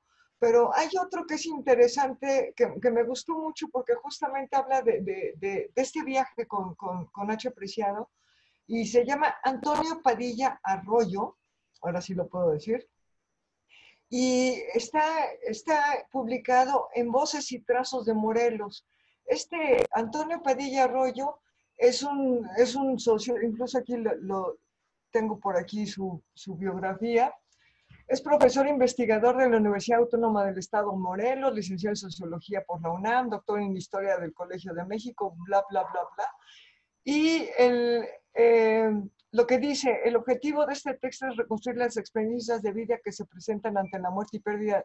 Ah, no, perdón. Así, porque, bueno, no, no, perdón, ese es de otro. Otro texto que él tiene también sobre los, sobre la condición de la infancia. Eh, sí, eh, es, perdón, me equivoqué. Pero bueno, es, es eh, una persona de aquí, de Morelos, y esta publicación de Voces y Trazos de Morelos parece que es, que es también de la universidad. Y dice, ah, está justamente en Paisajes y Pobladores del Estado de México, una lectura microhistórica de 1885. Y ahí todo se dedica a Cecilio Robelo. Ay, eso estaría muy bien leerlo. O sea, bueno, pues ahí creo que Germán sería increíble eh, ayudarles para ir subiendo y a mí ayúdame para que yo sea editor y así yo, entre los dos nos lo hacemos. Y sí. Yo quiero aprender, nunca he subido nada en Wikipedia. Es muy fácil, mira, ahorita eh, si tú te metes eh, ahí agregué los dos libros y por cierto ahorita les estoy poniendo un link por si alguien quiere comprar el libro de los oráculos, cuesta mil pesos una edición. Ah este, en, en, librerías de ocasión, en estas librerías de donceles. Ahí les puse el link. Pero es súper sencillo. Eh, más, si quieren, nada más les enseño rápido cómo le, le hice ahorita este, a, a, la, a, la, biografía de... Nada más para que vean qué sencillo es. Y ustedes podrían echarle mano también en algún, en algún momento, ¿no? Que tengan. Pero, este, pero si lo hacemos eh, de forma organizada, yo les ayudo sin problema. No sé si están viendo, pero aquí vienen estos, estos links, de, estas partes de editar, ¿no? Entonces, este, yo acá acabo de agregar estos dos libros. Entonces, como tienen unas, unas, este, como bullets, estos, estos simbolitos son los bullets, entonces los copié y los pegué, ¿no?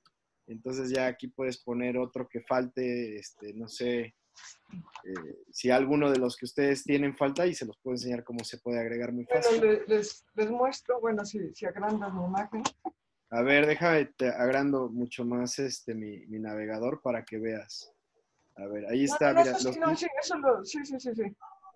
Sí, eso no, no, sí está. Pero no sé si de los que ustedes tienen ahorita, este... Por ejemplo, el, el, el despertador, ¿no? ¿Cómo se llama? El despertador. despertador. Ahí, ahí faltaría como, no, es, no sé si sea una obra, pero sí sería interesante poner.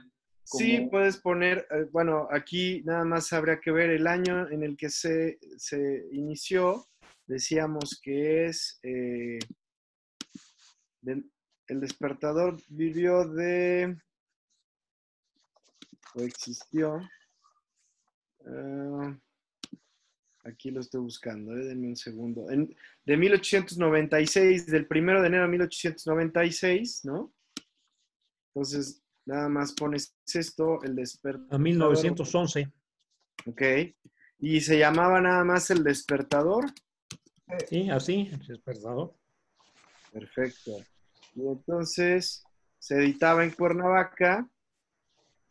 Dijimos que de 1896 a 1800, ¿qué? Me, 1911. 1911. Wow, bastante tiempo para el periódico. Sí, sí, sí, sí. 15 años. Entonces ya, ¿no? Lo puse así, ya nada más publicas los cambios y ya ahora ya ustedes ya van a ver que el despertador está ahí. ¿no? Este, dentro de, sus obras. bueno, en realidad, por ejemplo, yo tengo de periodismo, tengo el orden, el acusador, el eco, el iris, el despertador, opúsculos y panfletos. De Ah, pues, leyes. pueden- pueden de si me comparten eso. Es que son muchos, o sea, en realidad, mira, si lo ves, es todo esto la obra de mi bisabuelo. Esto ahorita es uno de leyes, periodismo y luego obra literaria. ¿sí? no, pues increíble. Y luego aquí, lingüística e indigenismo. Continúa. Este, especiales, libros como La lengua robelina, el colabora- colaborador en el desarrollo del idioma esperanto de la Academia Real de la Lengua Española, Si quieres, colaborador sácame- de la Enciclopedia de Lengua Mexicana. Luego, estos son de historia y luego de arqueología, ¿no? Y luego otros. Esto está buenísimo porque eh, Geografía del Estado de Morelos para uso en escuelas es, es estrictamente para tercer año de primaria. Está genial. Eso está muy bueno. La traducción de la obra de La Embustera, El arte de jugar albures, Culiacán, Coloachá, Culhuacán. Oigan, y, por supuesto, por haber trabajado en, el- en el INA, bueno, ahora el INA, hizo el catálogo general de las obras que contiene la biblioteca y del Museo Nacional de Arqueología, Historia y Etnología. Él hizo el catálogo de la escuela, de la- del Museo del INA. Así es que a, Wikipedia le hace falta muchísimo. Sí, teniéndolo como en Word, teniéndolo en un documento, o sea, porque ahí lo tienen como mecanografiado, no sé, si lo, si lo, si lo, lo digitalizan, yo creo que va, va a poderse, eh, poder compartir mejor. Sí, o tomarle unas fotos para que sea más rápido, que sean legibles y, y ya de ahí lo podemos subir si, si ustedes quieren. Y así pues que, que haya más información para, pues, para que la gente este, Conozca al personaje. la conozca, lo conozcan, conozcan su trascendencia. Eh, yo siendo franco, la primera vez que escuché su nombre fue porque eh, eh, trabajé en el diario de Morelos y había un premio que se llamaba así, entonces por eso supe de su Ah, existencia. ok. Entonces, este, ellos tenían varios premios que se llamaban los premios Diario de Morelos y uno, el que era como de ciencia y cosas de ese tipo, era el premio Cecilio A. Robelo, pero en ese momento no conocía yo nada del personaje. Se está incorporando el hermano de Lupita, Marco. Me estaba diciendo Lupita justo que, que Marco en su tesis habló cosas de, de, de, de Robelo y tal vez puede aportarnos uh, nuevos datos. No sé si nos escuchas, Marco. Hola, sí, ¿qué tal? ¿Cómo estás? Hola a todos, soy hermano de Lupita. Y bueno, eh, sí, yo estoy haciendo una, un doctorado en geografía. Y bueno, a partir de la geografía es que yo llegué a, a Cecilio Robelo, ¿no? Un poco con la tesis de maestría, que fue sobre el, un poco de la historia urbana, ¿no? De la traza urbana de Cuernavaca. Y bueno, no sé, es que yo llegué un poquito tarde, no sé si hablaron de la biografía que le hizo Robelo a, perdón, Miguel Salinas a Robelo. Sí. No. Bueno, fue la que les leí, lo que le contó a Nava, ¿se acuerdan? La primera. Ah, de ahí salió. Lo que pasa es que, bueno, en el, en el libro, en este libro que se llama Historias y Paisajes Morelenses, Uh -huh. ¿sí se ve? Sí. Eh, sí hay un pequeño capítulo que le dedica a Cecilio Robelo y es una biografía de él, así ah. hecha y derecha, ¿no? Además, muy detallada, muy pormenorizada, es apasionante, ¿no? La, la vida de, de, don Cecilio. Ay, ¿nos, este, ¿nos podrías, es, ¿es, muy larga o, o nos podrías... Sí, es de varias páginas, pero bueno, les puedo decir que es un... Tanto Cecilio Robelo como Miguel Salinas coincidieron en muchas ocasiones y una de ellas fue porque eran los dos miembros de la Sociedad Mexicana de Geografía y, y Estadística, que es un antecedente del INEGI, básicamente. Lo interesante es que esa, esa sociedad eh, que fundó Juárez se mantuvo, eh, o se ha mantenido, de hecho ahora todavía eh, existe, pero son como cargos más honoríficos. Pero bueno, él eh, pues sí tenía una, una, labor que quizás ahora diríamos que fue, más geógrafo que, que, político, ¿no? entre, entre otras cosas que hizo. Y es un discurso que pronuncia eh, Miguel Salinas el 24 de febrero de 1916 en el seno de la Sociedad de Geografía y Estadística. O sea, cuando muere Cecilio Robelo, es como un, tal vez sea un homenaje a Cecilio Robelo porque él murió. Exactamente, exacamente. Muere el 22 de febrero. Y bueno, es, es, muy pormenorizado. de hecho, dice que aquí que el 14 de enero de 1916 a las 6 de la tarde em, le dio adinamia, no sé qué sea, dice que estuvo invadido por la adinamia. Adina, adinamiac se llama, adinamiac.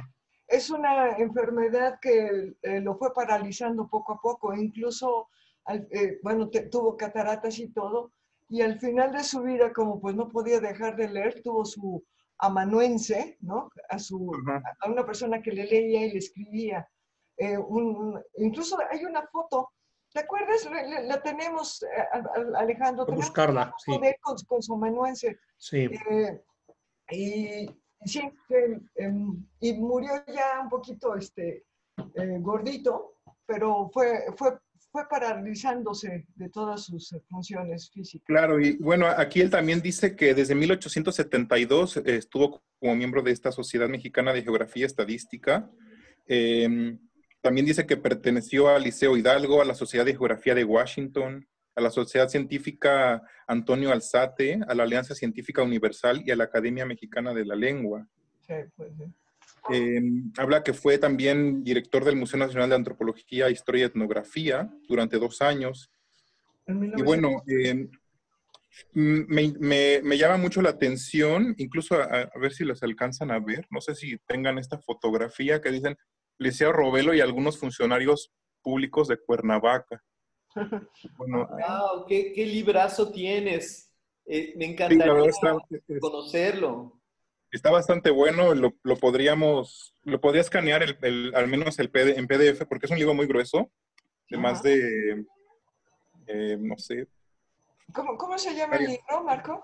Se llama Historias y Paisajes Morelenses, de Miguel Salinas. Ah, de Miguel Salinas. Es una, es, una reedición, este es un libro de los 20 que su hija reeditó en los 80 Wow. ¿De, quién, perdón? Miguel Salinas. Ah, Miguel Salinas. Wow. ¿Qué, librazo, eh, Marco. Me, encantaría conocer ese libro realmente. Sí, claro, a, la orden, a la orden. Ernestina Salinas, que era su hija, en el 81 hizo esta reedición de este libro del 25, me parece que fue editado.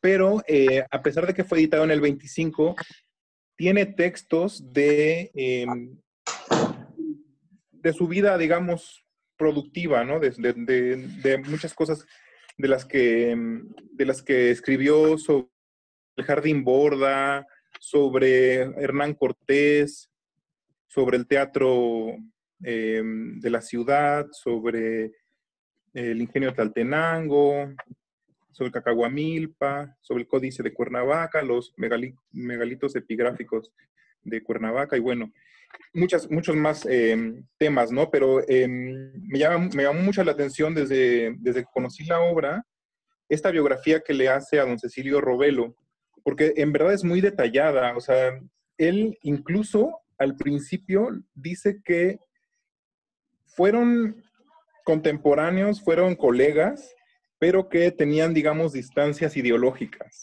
Bastantitas. Que se odiaban. Además.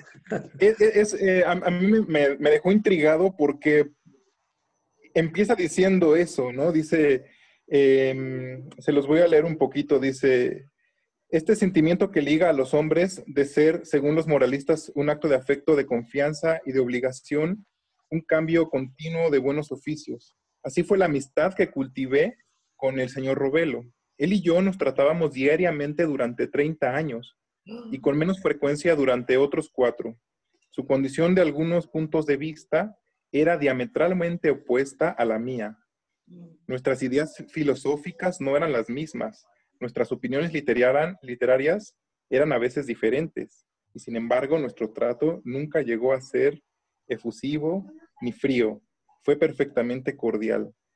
Jamás lo empañó la sombra del más leve disgusto. Y bueno, y sigue, ¿no? O sea, al final de cuentas dice que, eh, dice que tuvo siempre atenciones delicadas, benévolas y de fina cortesía. Y bueno, él em, habla desde sus, primeros, o sea, desde sus primeros pasos, básicamente, em, desde dónde nació, cómo fue su primera formación, que él se formó primero en casa y después habla de que entró a las escuelas lancasterianas, que básicamente era como este modelo de educación en donde las, los alumnos más aventajados, mayores o con más capacidades, les enseñaban a los más pequeños. Obviamente no había las capacidades técnicas ni de personal para que tuviera cada salón un, maestro, ¿no? Entonces, este método lancasteriano del que, don Cecilio fue, fue parte, pues era, era, era la forma en la que aprendió. Y bueno, como, como decían hace ratito, fue, entró al seminario, entró al seminario, y el rector de ese seminario, que se llamó José María Díez de Sollano, lo, luego, luego lo reconoció, reconoció en él pues sus capacidades como estudiante y le pidió que fuera su asistente personal.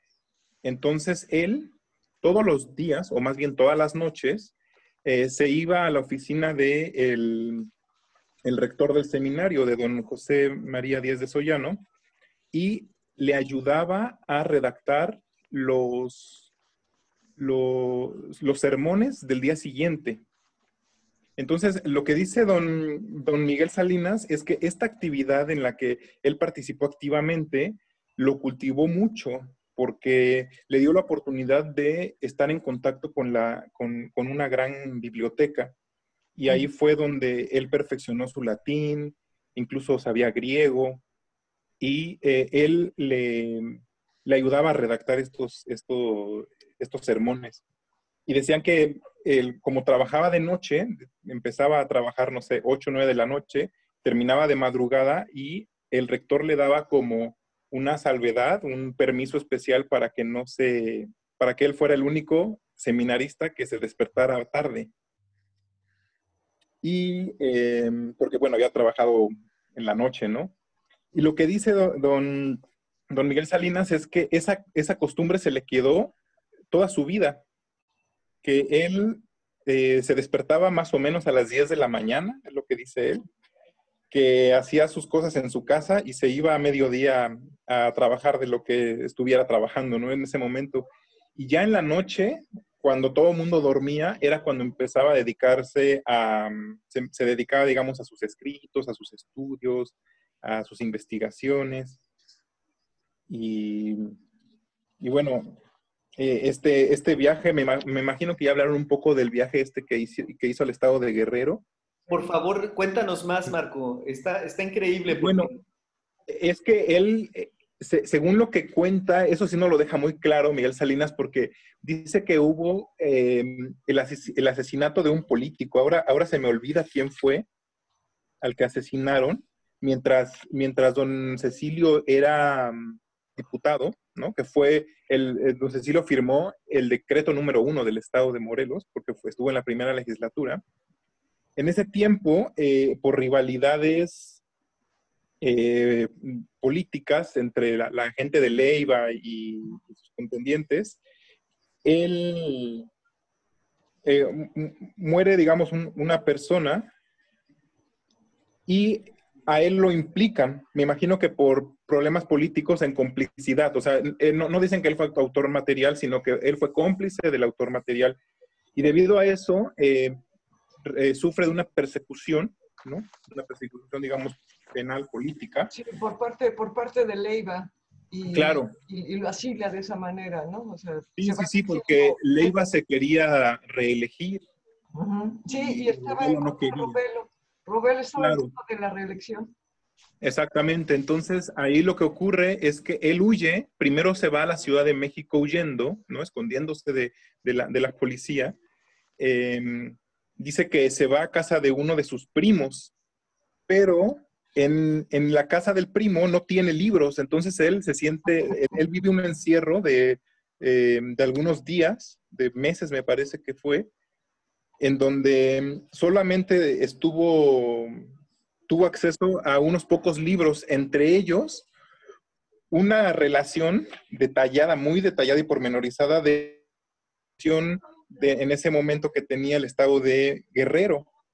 O sea, fue como una coincidencia. Después de ese encierro, su primo le, le, consigue, digamos, un salvoconducto para que se fuera a el estado de Baja California, para que ejerciera ahí un cargo público que, que le consiguen allá, como de juez de paz o algo así. Pero para llegar a Baja California no lo hace por tierra, sino que trata de irse a Acapulco. En el viaje a Acapulco llega a Tasco y en, en, Tasco, en una de las noches que, porque se supone que viajaba de noche, iba, iba escondido básicamente.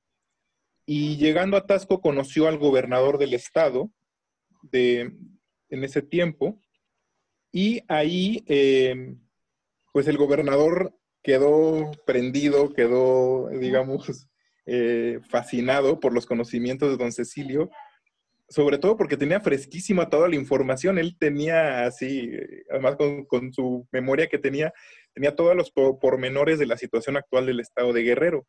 Quedó tan sorprendido el gobernador que le pidió que se quedara para trabajar en su gobierno.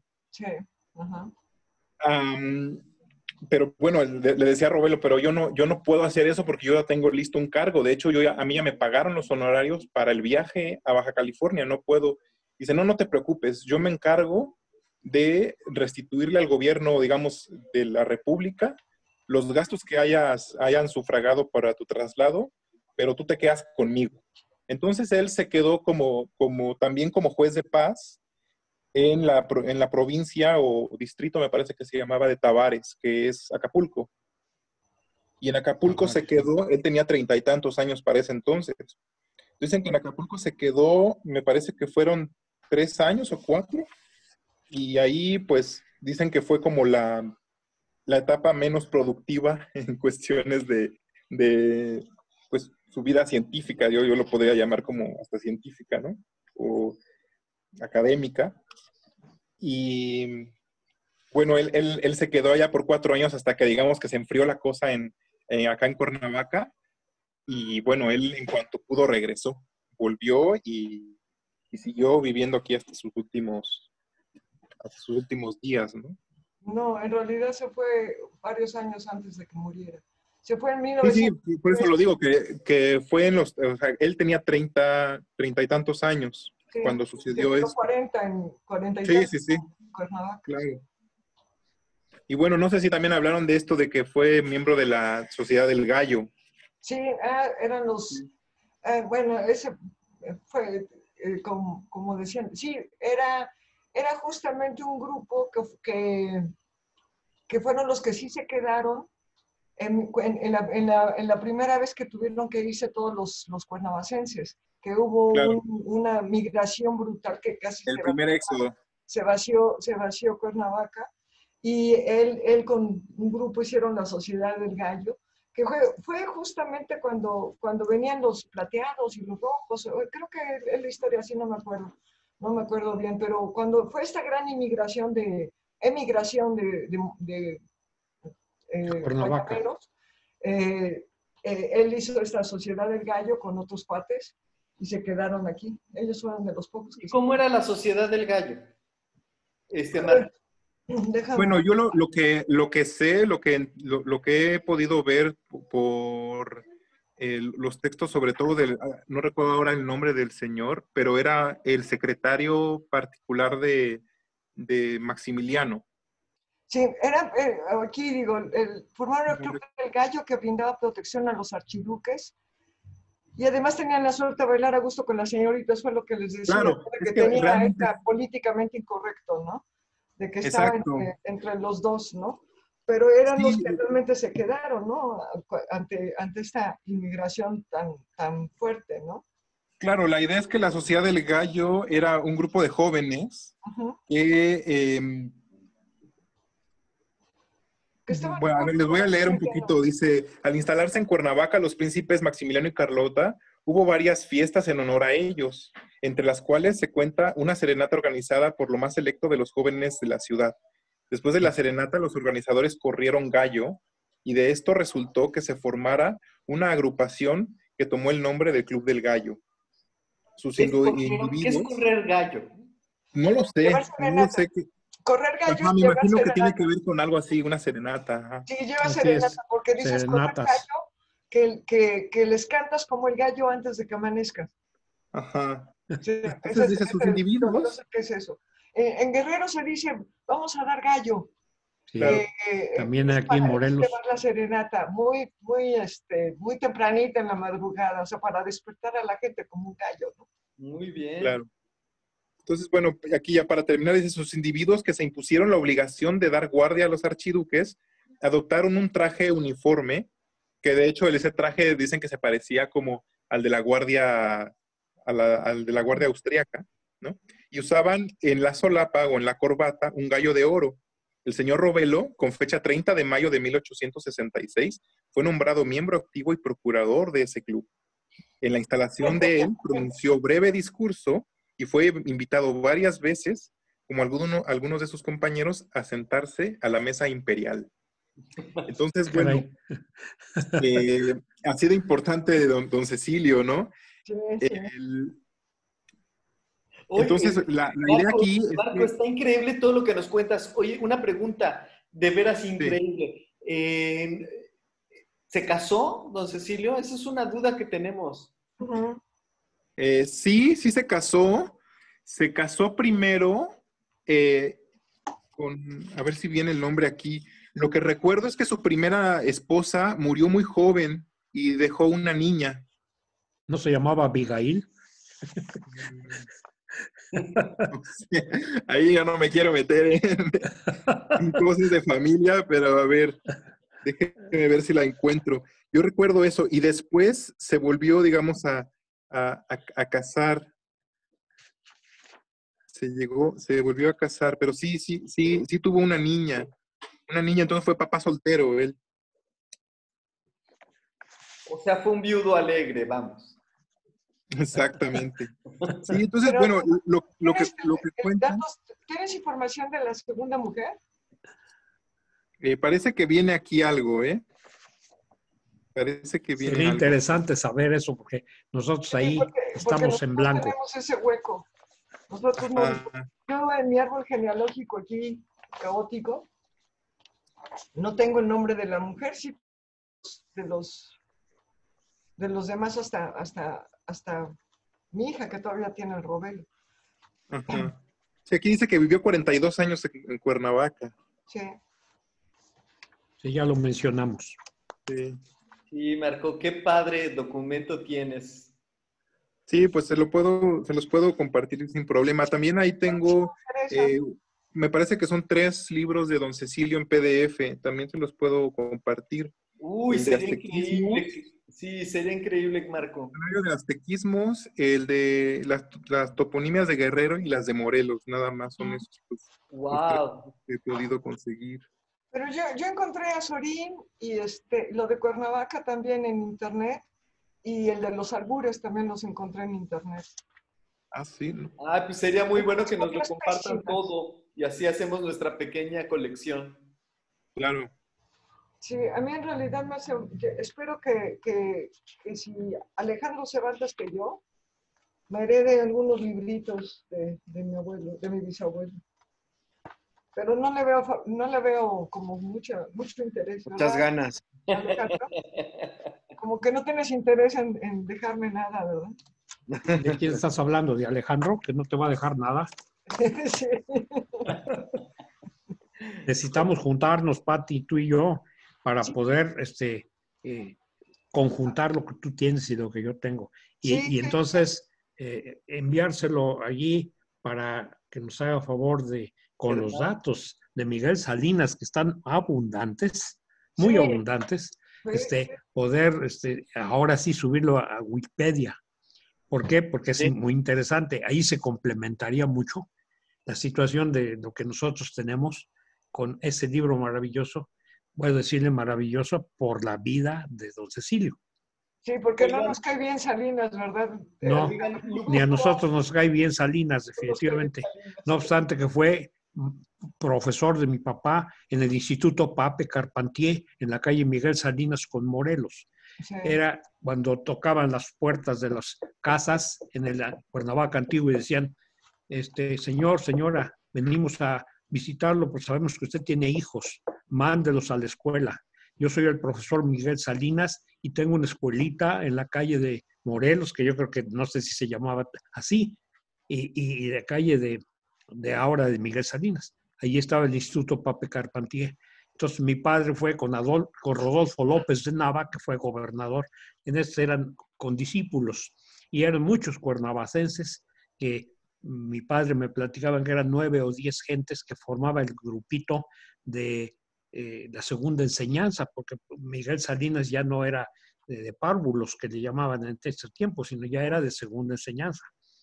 Esas son anécdotas muy importantes de, del profesor Salinas, pero de que fue un terrateniente y don Cecilio fue un hombre que no amasó fortuna, es una realidad. Hay que saber la raíz por qué, por qué don Cecilio fue tan austero en el aspecto de, de Cuernavaca se podía, yo creo, comprar eh, grandes extensiones de terreno por muy poquísimo dinero. Sin embargo, Miguel Salinas, eh, todo lo que es el eh, mercado de Cuernavaca, de, la, zona de Abasto, el rancho Basoco que se llamaba, era todo de los, de los señores Salinas. Y hasta la fecha todavía hay fracciones de terreno que llegaban desde, desde, sí, desde el centro hasta, hasta prácticamente hasta calle Madero, hasta por allá llegaban las, las propiedades. Hasta la Gualupita, del centro hasta la Gualupita. Yo creo por eso no se llevaban Salinas y, y, Cecilio, porque él era metalista y don Cecilio era más tranquilo en la situación económica. Oigan, ya son casi las 10 de la noche, está increíble la tertulia, ¿qué, qué sigue? porque nos quedamos muy picados. La verdad, Marco también nos aportó unas cosas increíbles. Lástima que llegaste tan, le tan tarde, Marco. No sé si sí, por ahí. Pero, este, ¿qué, ¿qué, hacemos? Porque da para otra sesión y tal vez embonarla con otros personajes, Germán. No sé tú qué piensas. Sí, pues podría ser, o tal vez podríamos ir como como al fin de esa época. No sé si, o también Lupita, ¿qué opinas? Que estás por allá y ustedes... Porque también coincide con la, con la figura esta que nos habló Lupita que, y, que nos habló José Iturriaga. Parece que entonces este, la, la inglesa que tenía el hotel eh, con la época de Cecilio Robelo. Sí, claro. Con toda esa, esa generación. Sería muy interesante reconstruir de alguna manera, aunque sea tener unas pistas de cómo era la sociedad de Cuernavaca en el porfiriato. sí, claro, ahí, ahí con estos personajes se empieza un poco a reconstruir y, a ver sobre todo cómo empezó a llegar el, progreso, ¿no? Que es parte fundamental del periodo, la luz eléctrica, el ferrocarril. A ver, entonces, para ir para ir, perdón, para que no nos vayamos por las ramas, vamos a pedir, no sé, Marco tiene documentos increíbles que, Alejandro y Patricia no conocían. Este, yo no conozco nada. Bueno, no, el libro de, Salinas no, no, no, lo, ustedes no lo tenían. Sabía, la historia de la amistad entre, bueno, de la enemistad entre Salinas y Robelo. Marco. Eh, no, sabía que tuviera la biografía Salinas, ¿no? Solamente lo que te digo de Nava, que escribió a partir de lo que dijo este, Salinas el 14 de febrero de 2020, 20 algo, ¿no, Marco? Eh, como casi 10 años después de que se murió eh, eh, Robelo, ¿no? Ok. Es del 16. O sea, digamos, el, el texto lo dice al final, es un discurso pronunciado en la Sociedad Mexicana de Geografía y Estadística la noche del 24 de febrero de 1916. La primera edición del libro, que, ah, donde es publicado esto, es del 25, si mal no recuerdo, y esta edición que yo tengo es del 81. Entonces, sí, más o menos esa es la, sí, la historia. Sí, debe haber sido póstumo de, de, un homenaje, ¿no? Porque Cecilio Robelo muere el 16 de, enero de, de 1916. es póstumo. A, mí me llama la atención el nivel de detalle que tiene la biografía, porque incluso viene hasta las notas que sacó en su examen profesional. Eh, bueno, muchos detalles, demasiados detalles como para que eh, no le ayudara eh, Robelo a Salinas a recabar esa información. O sea, a mí se me hace imposible prácticamente que tuviera tanta información sin que el mismo Robelo se la haya proporcionado. Se veían diario. Entonces me imagino que en sus largas pláticas él fue registrando toda su vida. No sé. Eh, entonces. porque Robelo no tenía una. Eso parece. Pues, esto, es una, esto sería una biografía hecha y derecha, la verdad. Sí, Incluso hay una fotografía de él que no es la que tienen ahí ustedes. A ver si se las puedo compartir. Bueno, eh, quiero leerles un, último pedacito que me, me, gusta mucho, ¿no? Como investigador, a mí se me hace como el Humboldt mexicano, este señor Cecilio Robelo, porque dice, en cada poblado nuestro viajero subía a la torre de la iglesia, acompañado de varios conocedores de la localidad. Y ahí preguntaba el nombre de los poblados vecinos, de los cerros, de los llanos y de los ríos. Indagaba las distancias y todo lo que estimaba pertinente. Y al fin hacía un croquis y las apuntaciones respectivas. Con tales datos escribió sus revistas descriptivas de Morelos y después la geografía de dicho estado. Entonces, eh, esa era la manera en la que investigaba él, ¿no? A ver, déjeme ver si... Muy bien, Marco. Entonces, no, ah, a ver, no, no tenemos esa foto. Sí, yo creo, yo la he visto, yo la he visto en algún lado. Y también de las últimas en su vejez, cuando está sentado él en, algo que parecía silla de ruedas y tiene su amanuense ahí al ladito. Sí, ¿te acuerdas, no, Alejandro, de esa foto? Sí. Ahí está más joven que la que ustedes tienen, ¿no? Parece. Sí, está más joven. Sí, ahí está joven. De hecho, aquí, esta que les mostraba también, nada más que la calidad no es buena, no, y es un chorro de gente, yo no lo reconocería. Pero con una, una buena foto, si nos las hicieran, a mí me encantaría. Sí, la, la, la, calidad es mala, eh, la verdad, de esta fotografía, pero sí, igual la, la podemos tratar de, de ampliar y así, arreglar un poco. Híjole, sería increíble. ¿Qué tal si podemos, no sé, eh, si podríamos escanear Tamuanchan, Marco escanea el otro libro, Patricia escanea el de Cuernavaca 1893, Alejandro, o sea, lo que tengan vamos escaneándolo y así podemos profundizar, porque si no tenemos los documentos, pues no podemos leer más a profundidad a Cecilio. Entonces, si, tuviéramos como es un objetivo de, tener esos documentos, tal vez podríamos profundizar más en la obra y en el conocimiento de, de Cecilio y saber mejor sus avatares, cómo fue su vida, porque está como, hasta ahorita nosotros lo tenemos como muy, muy dispersos los datos, una, una cosa con otra, y eso nos ayudaría a armar la página de Cecilio Robelo. Sí, aquí el, punto es de que eh, eh, nos repartimos, Alejandro y yo, en la parte, eh, digamos, este, legal y yo la parte literaria y un poco los detalles de la lingüística, ¿no?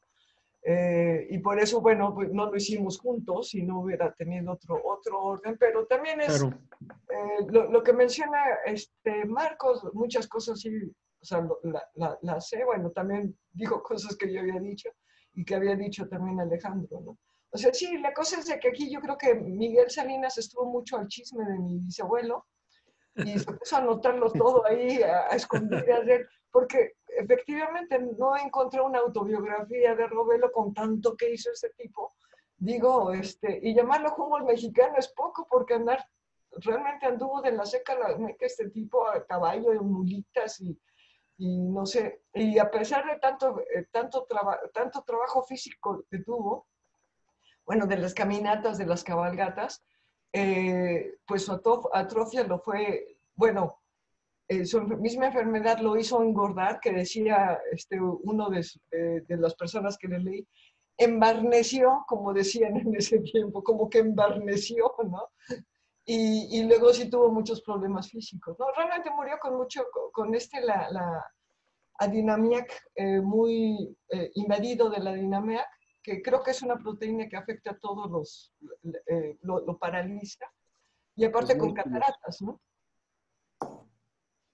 Yo quisiera platicarles ya de una para acotar el, el, punto, este, Jesús, yo, a ver si les parece, podríamos, o sea, tomar el tema como del porfiriato y hasta el estallido de la revolución y así abarcamos a más personajes, o sea, parando en el estallido de la, de la revolución, ¿no? Y ahí eh, abarcamos, pues si hay algo nuevo sobre, sobre Robelo, pues lo podemos añadir sin, sin ser tan reiterativos. Me parece muy eh, bien. Podemos hablar de, de, otros personajes como Rosa King, que, que también Lupita tiene, leyó el libro, yo también lo leí, este, pues los gobernadores estos que ya mencionamos. ¿Podemos eh, hacerlo alrededor de Rosa King? Pues podría ser, de, es que siento que sería más, eh, o sea, sería mejor como que en vez de hablar de, porque Rosa King puedes hablar de la novela completa y es como platicarla porque es lo que hay de, de, de registro de su vida en cierta forma, ¿no? Entonces tal vez si agarramos como hilo conductor a Rosa King, pero pasando por los personajes puede ser mejor, ¿no? O sea, como que por ejemplo, ella era inquilina de Alarcón, que era el gobernador, ¿no? Eso lo menciona. Entonces, cuando se muere, pues se muere su, eh, el que le rentaba, ¿no? Su espacio. Eh, y eh, que más bien le rentaba el espacio donde tenía su tea shop, ¿no? Vamos, vamos, este, digo, es que perdonen que trato de, es que pues si no nos podemos alargar mucho y, y no concretar algo. Entonces, yo quisiera también, pregunto, Marco, eh, no sé, hay otros puntos, digamos, que podemos hablar. Por ejemplo, no hemos hablado de, las toponimias de Cuernavaca y de todo eso, no sé. Pero, Marco, no sé si hay algún punto que quieras rescatar de esta, como para plantear un, ¿te gustaría seguir en la tertulia? yo creo que, o sea, siguiendo un orden más o menos cronológico, si estamos hablando que Robelo eh, vivió, digamos, eh, desde que inicia el Segundo Imperio hasta que nace, o sea, y, que nace el Estado de Morelos, hasta principios del siglo XX, eh, pudiéramos conectarlo, por ejemplo, con algún hito de, nuestra ciudad, como es el, la introducción del ferrocarril, que fue eso 1800 92. 97, 97, sí. 1897.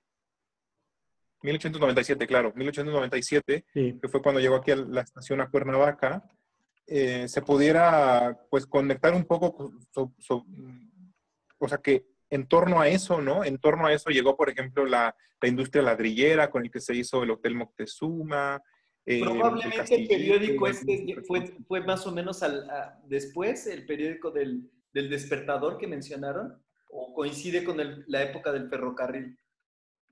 Trascendió fue hasta 1911, cuando terminó el despertador. O sea, sí, pero coincidió, digamos, con, con una etapa de desarrollo de Cuernavaca. claro que sí. traída Con, con, el ferrocarril. Tal vez sí. sí. ¿qué tal si hacemos la tertulia siguiente? en torno a, la época del ferrocarril, los años en que previos y, antes y después.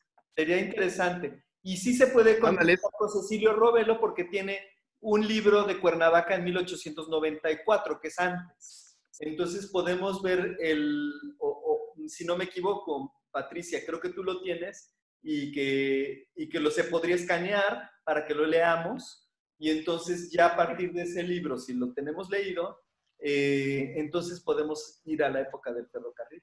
¿Qué piensan? Está perfecto. 1894, pero cuenta más que nada, el libro cuenta más que nada de los orígenes de Cuernavaca. ¿no? Está increíble, porque eso nos daría a nosotros, es, es, perfecto para nuestra tertulia y el tema de la tertulia, que es Cuernavaca. Entonces, yo no conozco ese libro y me encantaría leerlo por, por lo que he leído de Cecilio Robelo me encantaría leer ese texto de Cuernavaca. Entonces, no sé si se pueda sacar una, hacer las fotos o la, o la fotocopia, no sé qué tan larga sea, para poderlo escanear y, poder hacer unas copias digitales que todos leamos. Sí, son 12, 12 páginas que en realidad están dobles serían seis páginas, es, es pequeño. Bueno, seis. Está, está en este formato, ¿no? Es, esquela. Pues sí, con que se saque una, una foto de cada hoja para que lo tengamos mejor, este, bien, este, eh, lo mejor, digamos, legible, porque si, si sacas una foto muy grande de cada página y así lo armamos el libro, Patricia. Bueno, ok. Sí, sería un documento increíble. Y si los demás podemos aportar algún otro libro como el de Tamuán Germán, sería increíble, tú que lo tienes. Sí, claro. Sí, sí, sí, podemos, te digo, por eso puede ser la figura del ferrocarril y alrededor todo lo que ocurre, que eh, al final es, son los mismos días que de lo que habíamos mencionado, ¿no? Y, y, podemos, en torno a eso, hablar de, diversos personajes.